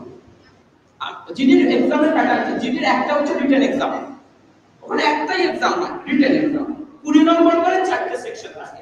ম্যাথ ইংলিশ রিজনিং জিকে বোঝা গেল? আশি নম্বরের পরীক্ষা হয়। সরি আশিটা কোশ্চেন থাকে, একশো ষাট নম্বর থাকে। আশিটা কোশ্চেন থাকে, একশো ষাট নম্বর। মানে এক একটা কোশ্চেন দু নম্বর। বুঝতে গেল? একটা রিটেন এক্সাম হয়। রিটেন এক্সাম হয়ে যাওয়ার পর ফিল্ড পিইটি বা পিএমটি পিইটি হচ্ছে ফিজিক্যাল এফিসিয়েন্সি টেস্ট আর পিইটি হচ্ছে physical measurement test physical measurement test যেটা থাকে এসএসসি জিডির ক্ষেত্রে 1.6 কিলোমিটার দৌড়াতে হয় 8 মিনিটে। 8 মিনিটে। আর হাইট যেটা থাকে, মেয়েদের ক্ষেত্রে 157 সেন্টিমিটার 157 সেন্টিমিটার আর চেস্ট 76 সেন্টিমিটার তোমার চেস্ট মেজারমেন্ট করবে 76 সেন্টিমিটার হতে হবে। উইথ এক্সপানশন মানে তোমাকে ফোলাতে হবে প্লাস 5 সেন্টিমিটার মানে 81 ক্লিয়ার আর তোমাকে 1.6 কিলোমিটার দৌড়াতে হবে মানে 1600 মিটার দৌড়াতে হবে 8 মিনিটে। মেয়েদের ক্ষেত্রে এটা। আর হাইট হতে হবে 157 সেন্টিমিটার আর written exam then PET PMT হয়ে গেল। প্রসেস কমপ্লিট এবার ফাইনাল প্যান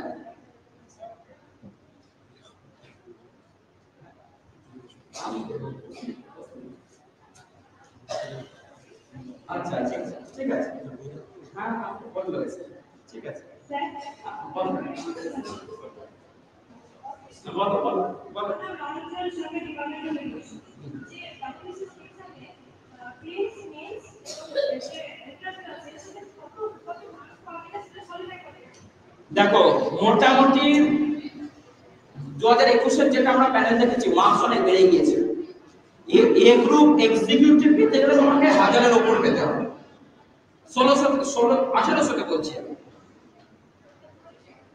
ষোলোশো মেন্স এক্সাম দুশো ইন্টারভিউ প্রিলিমসের মার্কস এক হয় না।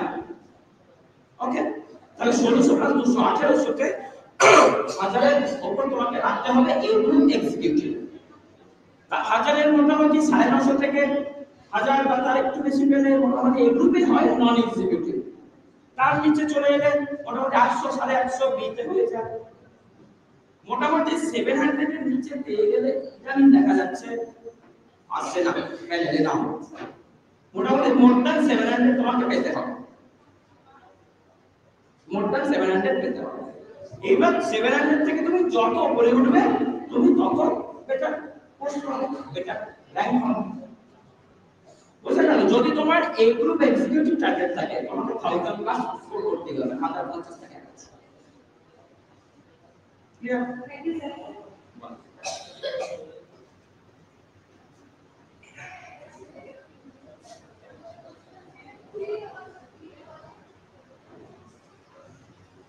বলো, আর কোনো প্রশ্ন নেই তাহলে আমি শেষ করব ওকে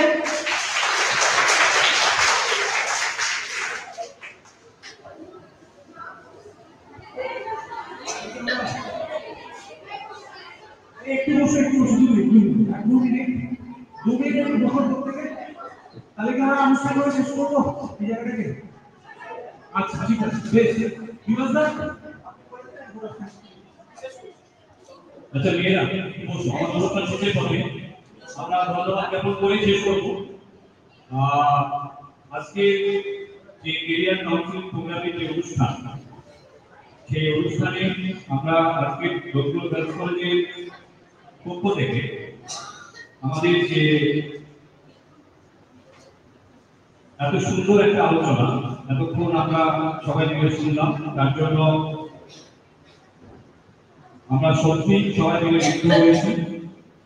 এর জন্য যিনি আলোচক বক্তা ছিলেন, সম্মাননীয় কুমার ভট্টাচার্যের জন্য জোরে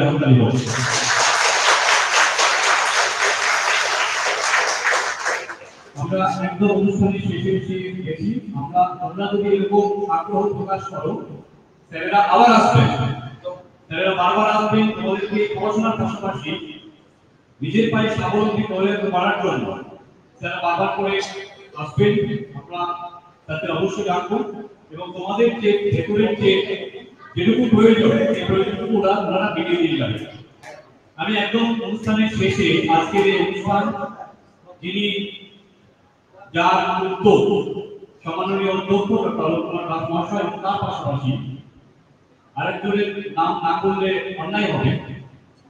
তিনি হচ্ছেন আমাদের সমাজবিদ্যা বিভাগের বিভাগীয় প্রধান এবং কেরিয়ার কাউন্সিলিং সেলের যিনি কনভেনার, সম্মাননীয় প্রিয়ঙ্কর দাস মহাশয় ওনার উদ্যোগ এবং ওনার সুচিন্তিত যে ভাবনা, যে মেয়েদের জন্য একটা সুন্দর একটা এরকম ওয়ার্কশপ হোক, যেখানে মেয়েরা সরকারি চাকরির জন্য নিজেদের প্রস্তুতি নিতে পারে সেই জায়গায় দাঁড়িয়ে আমি অনুরোধ করব, আজকের এই অনুষ্ঠানে ধন্যবাদ জ্ঞাপনের জন্য সম্মাননীয় প্রিয়ম প্রসাদ মহাশয়। নমস্কার। প্রথমে একটা কথা বলব মেয়েরা অনেক ধৈর্য ধরে বসে আছে, পবিত্র রমজান মাস চলছে, অনেক মেয়ে রোজা পালন করছে। আমি একটা কথা বলব, সেটা হচ্ছে যে বহু আমাদের সাথে যখন আমার কথা হয়, অনেক আমরা আমাকে একটা কথা বলে, এই সরকারি চাকরির পিছনে একটা মূল অন্যতম মূল সূত্র হচ্ছে তিনটে আর কি তিনটে আরের মধ্যে হচ্ছে read retention and revision read মানে পড়ো রিটেনশন মানে ধারণ করো, সেটাকে মনে রাখো। আর রিভিশন মানে সেটাকে পুনরায় আবার সেটাকে পড়ো রিভাইজ করো যেটাকে বলা হয়। এবং তার সাথে আরেকটা জিনিস খুব গুরুত্বপূর্ণ, সেটা হচ্ছে পেশেন্স ধৈর্য। আজকে আমি গোটা ওয়ার্কশপ যখন চলছিল, যখন রণবীর বাবু বক্তব্য রাখছিলেন গোটা সময়টা ধরেই আমি ছিলাম এবং মেয়েদের মুখের অভিব্যক্তি দেখছিলাম শরীরের অভিব্যক্তিগুলোকে লক্ষ্য করছিলাম। সেখান থেকে আমার মোটামুটি আমি আন্দাজ করে নিলাম যে কারা এই দৌড়ে এগিয়ে যেতে পারবে, কারা এই লড়াইতে সামিল হতে পারবে আর কারা পারবে অনেকেই অধৈর্য হয়ে গেছে। আজকে সামান্য বক্তব্য, এক দেড় ঘণ্টার এই বক্তব্যের মধ্যেই তোমরা অনেকে অসহিষ্ণু হয়ে উঠেছো অধৈর্য হয়ে উঠেছো আর অনেকেই কিন্তু মন দিয়ে শোনা করেছে এখান থেকে কিন্তু একটা দিক নির্দেশ, একটা আলো আমরা দেখতে পাচ্ছি। তাই প্রত্যেকের কাছে অনুরোধ করব তোমরা একটু ধৈর্যশীল হও, একটু সহনশীল হও। জানি কষ্ট হচ্ছে তাপমাত্রা অনেক বেশি, বাইরের তাপমাত্রা পবিত্র রমজান মাস চলছে অনেকে রোজা করে আছো কিন্তু এই যে প্রতিকূলতা গুলো আছে, এর থেকে আরও অনেক প্রতিকূলতা তোমাদের জীবনে আসবে, এবং সেই প্রতিকূলতা গুলো তোমরা যখন অতিক্রম করতে পারবে তখনই তোমরা কিন্তু সেই সাফল্য শিখরে পৌঁছে যাবে। অনুষ্ঠান সম্পর্কে বলি, কেরিয়ার কাউন্সিলের কনভেনার হিসেবে আমি দীর্ঘদিন ধরে দায়িত্বপ্রাপ্ত আছি। কিন্তু আজকের এই অনুষ্ঠানে অন্যতম মূল বৈশিষ্ট্য হচ্ছে অনুষ্ঠানের একদম প্রথম ধাপে ডিএল কলেজ থেকে যে সমস্ত অধ্যাপক অধ্যাপিকা এবং অধ্যক্ষ মহাশয় এসেছিলেন, তারা মেয়েদের এম্পাওয়ারমেন্ট নিয়ে, মেয়েদের জাগরুকতা নিয়ে, মেয়েদের স্বাবলম্বিতা নিয়ে একটা ঐতিহাসিক ধারণা দিয়েছেন এবং তার সাথে তাত্ত্বিক ধারণা দিয়েছেন। এবং অনুষ্ঠানের পরবর্তী অর্থাৎ দ্বিতীয় ধাপে বিএসসি একাডেমি বহরমপুরের পক্ষ থেকে যে সমস্ত কর্মকর্তারা এসেছিলেন, এসছেন, তারা কিন্তু সেই তাত্ত্বিক, ঐতিহাসিক, ধারণাগত দিকগুলোকে কীভাবে প্রয়োগ করা যায় প্রায়োগিকতার দিকটা নিয়ে আলোচনা করেছেন। তাহলে অভিনবত্ব এখানে, এই ধারণাগত এবং প্রায়োগিকতা দুটোর একটা যুক্তাপজিশন যাকে ইংরেজিতে বলা হয় এবং বাংলায় যাকে বলা হয় সাযুজ্যতা সহাবস্থান। সেইটা কিন্তু আজকের এই গোটা দিনের মধ্যে আমরা পরিলক্ষিত করেছি ধন্যবাদ জ্ঞাপন করছি আমাদের কলেজের অধ্যক্ষ মহাশয় ডক্টর অলোক কুমার দাসের প্রতি, যার নিরন্তর প্রচেষ্টা আমাকে প্রাণিত করে এবং যার অনুপ্রেরণা থেকে আমি এই অনুষ্ঠানগুলো করার সাহস পাই। এবং বিএসসি একাডেমি বহরমপুরের আমার অশেষ কৃতজ্ঞতা। ওনারা দীর্ঘদিন ধরে আমার সাথে সংযোগ রেখেছিলেন। কিন্তু আমার ব্যক্তিগত কিছু কাজ এবং কলেজের অন্যান্য কাজের জন্য সেই পরিসরটুকু আমরা পাইনি, অবশেষে আজকের এই পনেরোই মার্চ, চোদ্দই মার্চ দিনে আমরা এই অনুষ্ঠানটাকে সাফল্যমণ্ডিত করতে পেরেছি। বিএসসি একাডেমির পক্ষ থেকে এসেছেন রণবীর কুমার ভট্টাচার্য মহাশয় ব্রাঞ্চ ইনচার্জ সাথী ভান্তি মহাশয়া একাডেমির কোঅর্ডিনেটর বিএসসি একাডেমি এবং faculty of mathematics mister Sourav মহাশয় বিএসসি একাডেমি ওনাদেরকে অশেষ ধন্যবাদ এবং কৃতজ্ঞতা জ্ঞাপন করছি আমাদের কলেজের পক্ষ থেকে। আর অতি অবশ্যই আমার কেরিয়ার কাউন্সিলের টিম আমি তো একজন কনভেনার মাত্র, কিন্তু আমার যে টিম সেই কেরিয়ার কাউন্সিলের মধ্যে রয়েছে অধ্যাপক কৃষ্ণ বিশ্বাস, রয়েছে অধ্যাপিকা প্রসাদী মহাশয়া এবং বিভাস বিশ্বাস মহাশয়। যে আজকে দুটো কার্য কিন্তু ক্যালেন্ডারে চালালেন, একসাথে একাধিক একদিকে উনি কেরিয়ার কাউন্সিলের অন্যতম সম্মানীয় সদস্য এবং তার সাথে ওনার যে সাবলীল দক্ষতা, ওনার যে সুচিন্তিত, সুললিত কণ্ঠে উনি যেভাবে সঞ্চালনা দায়িত্ব পালন করেন, সেটা উনি আজকেও পালন করেছেন। ওনার প্রতি আমার কৃতজ্ঞতা। এবং অন্যান্য কর্মচারী বন্ধু যাদেরকে আমি দেখতে পাচ্ছি এখানে রতনদা রয়েছে, আমার ভাই রাকেশ রয়েছে, ওদেরকেও আমার ধন্যবাদ এবং ওদের প্রতি আমার কৃতজ্ঞতা। আর ছাত্রীরা যারা অত্যন্ত মনোযোগ সহকারে অনেক ক্লান্ত মুখগুলো নিয়েও তোমরা অধিক আগ্রহে গোটা অনুষ্ঠানটাকে তাদেরকে আমার এই বলে আজকে আমি আমার অনুষ্ঠানে পরবর্তীকালে তোমাদের আমি আবার মেসি একাডেমিতে ডাকবো। ওনারা আবার আসবেন দীর্ঘক্ষণ আলোচনা হবে এবং আমি কথা দিচ্ছি আজকে যে সমস্ত ছাত্রীকুল আমাদের এখানে আমরা দেখতে পেয়েছি, তার তিন গুণ তার চার গুণ ছাত্রছাত্রী দিয়ে আমি আমার হলকে দেবো এবং তোমরা পরবর্তীকালে বিএসসি একাডেমির সাথে যোগাযোগ রেখো। কীভাবে স্মার্ট পদ্ধতিতে সরকারি চাকরির পরীক্ষার প্রস্তুতি নিতে হয় এবং সাফল্য অর্জন করতে হয়, আশা করি এসি একাডেমি তোমাদেরকে দিক নির্দেশ করতে পারবে ধন্যবাদ।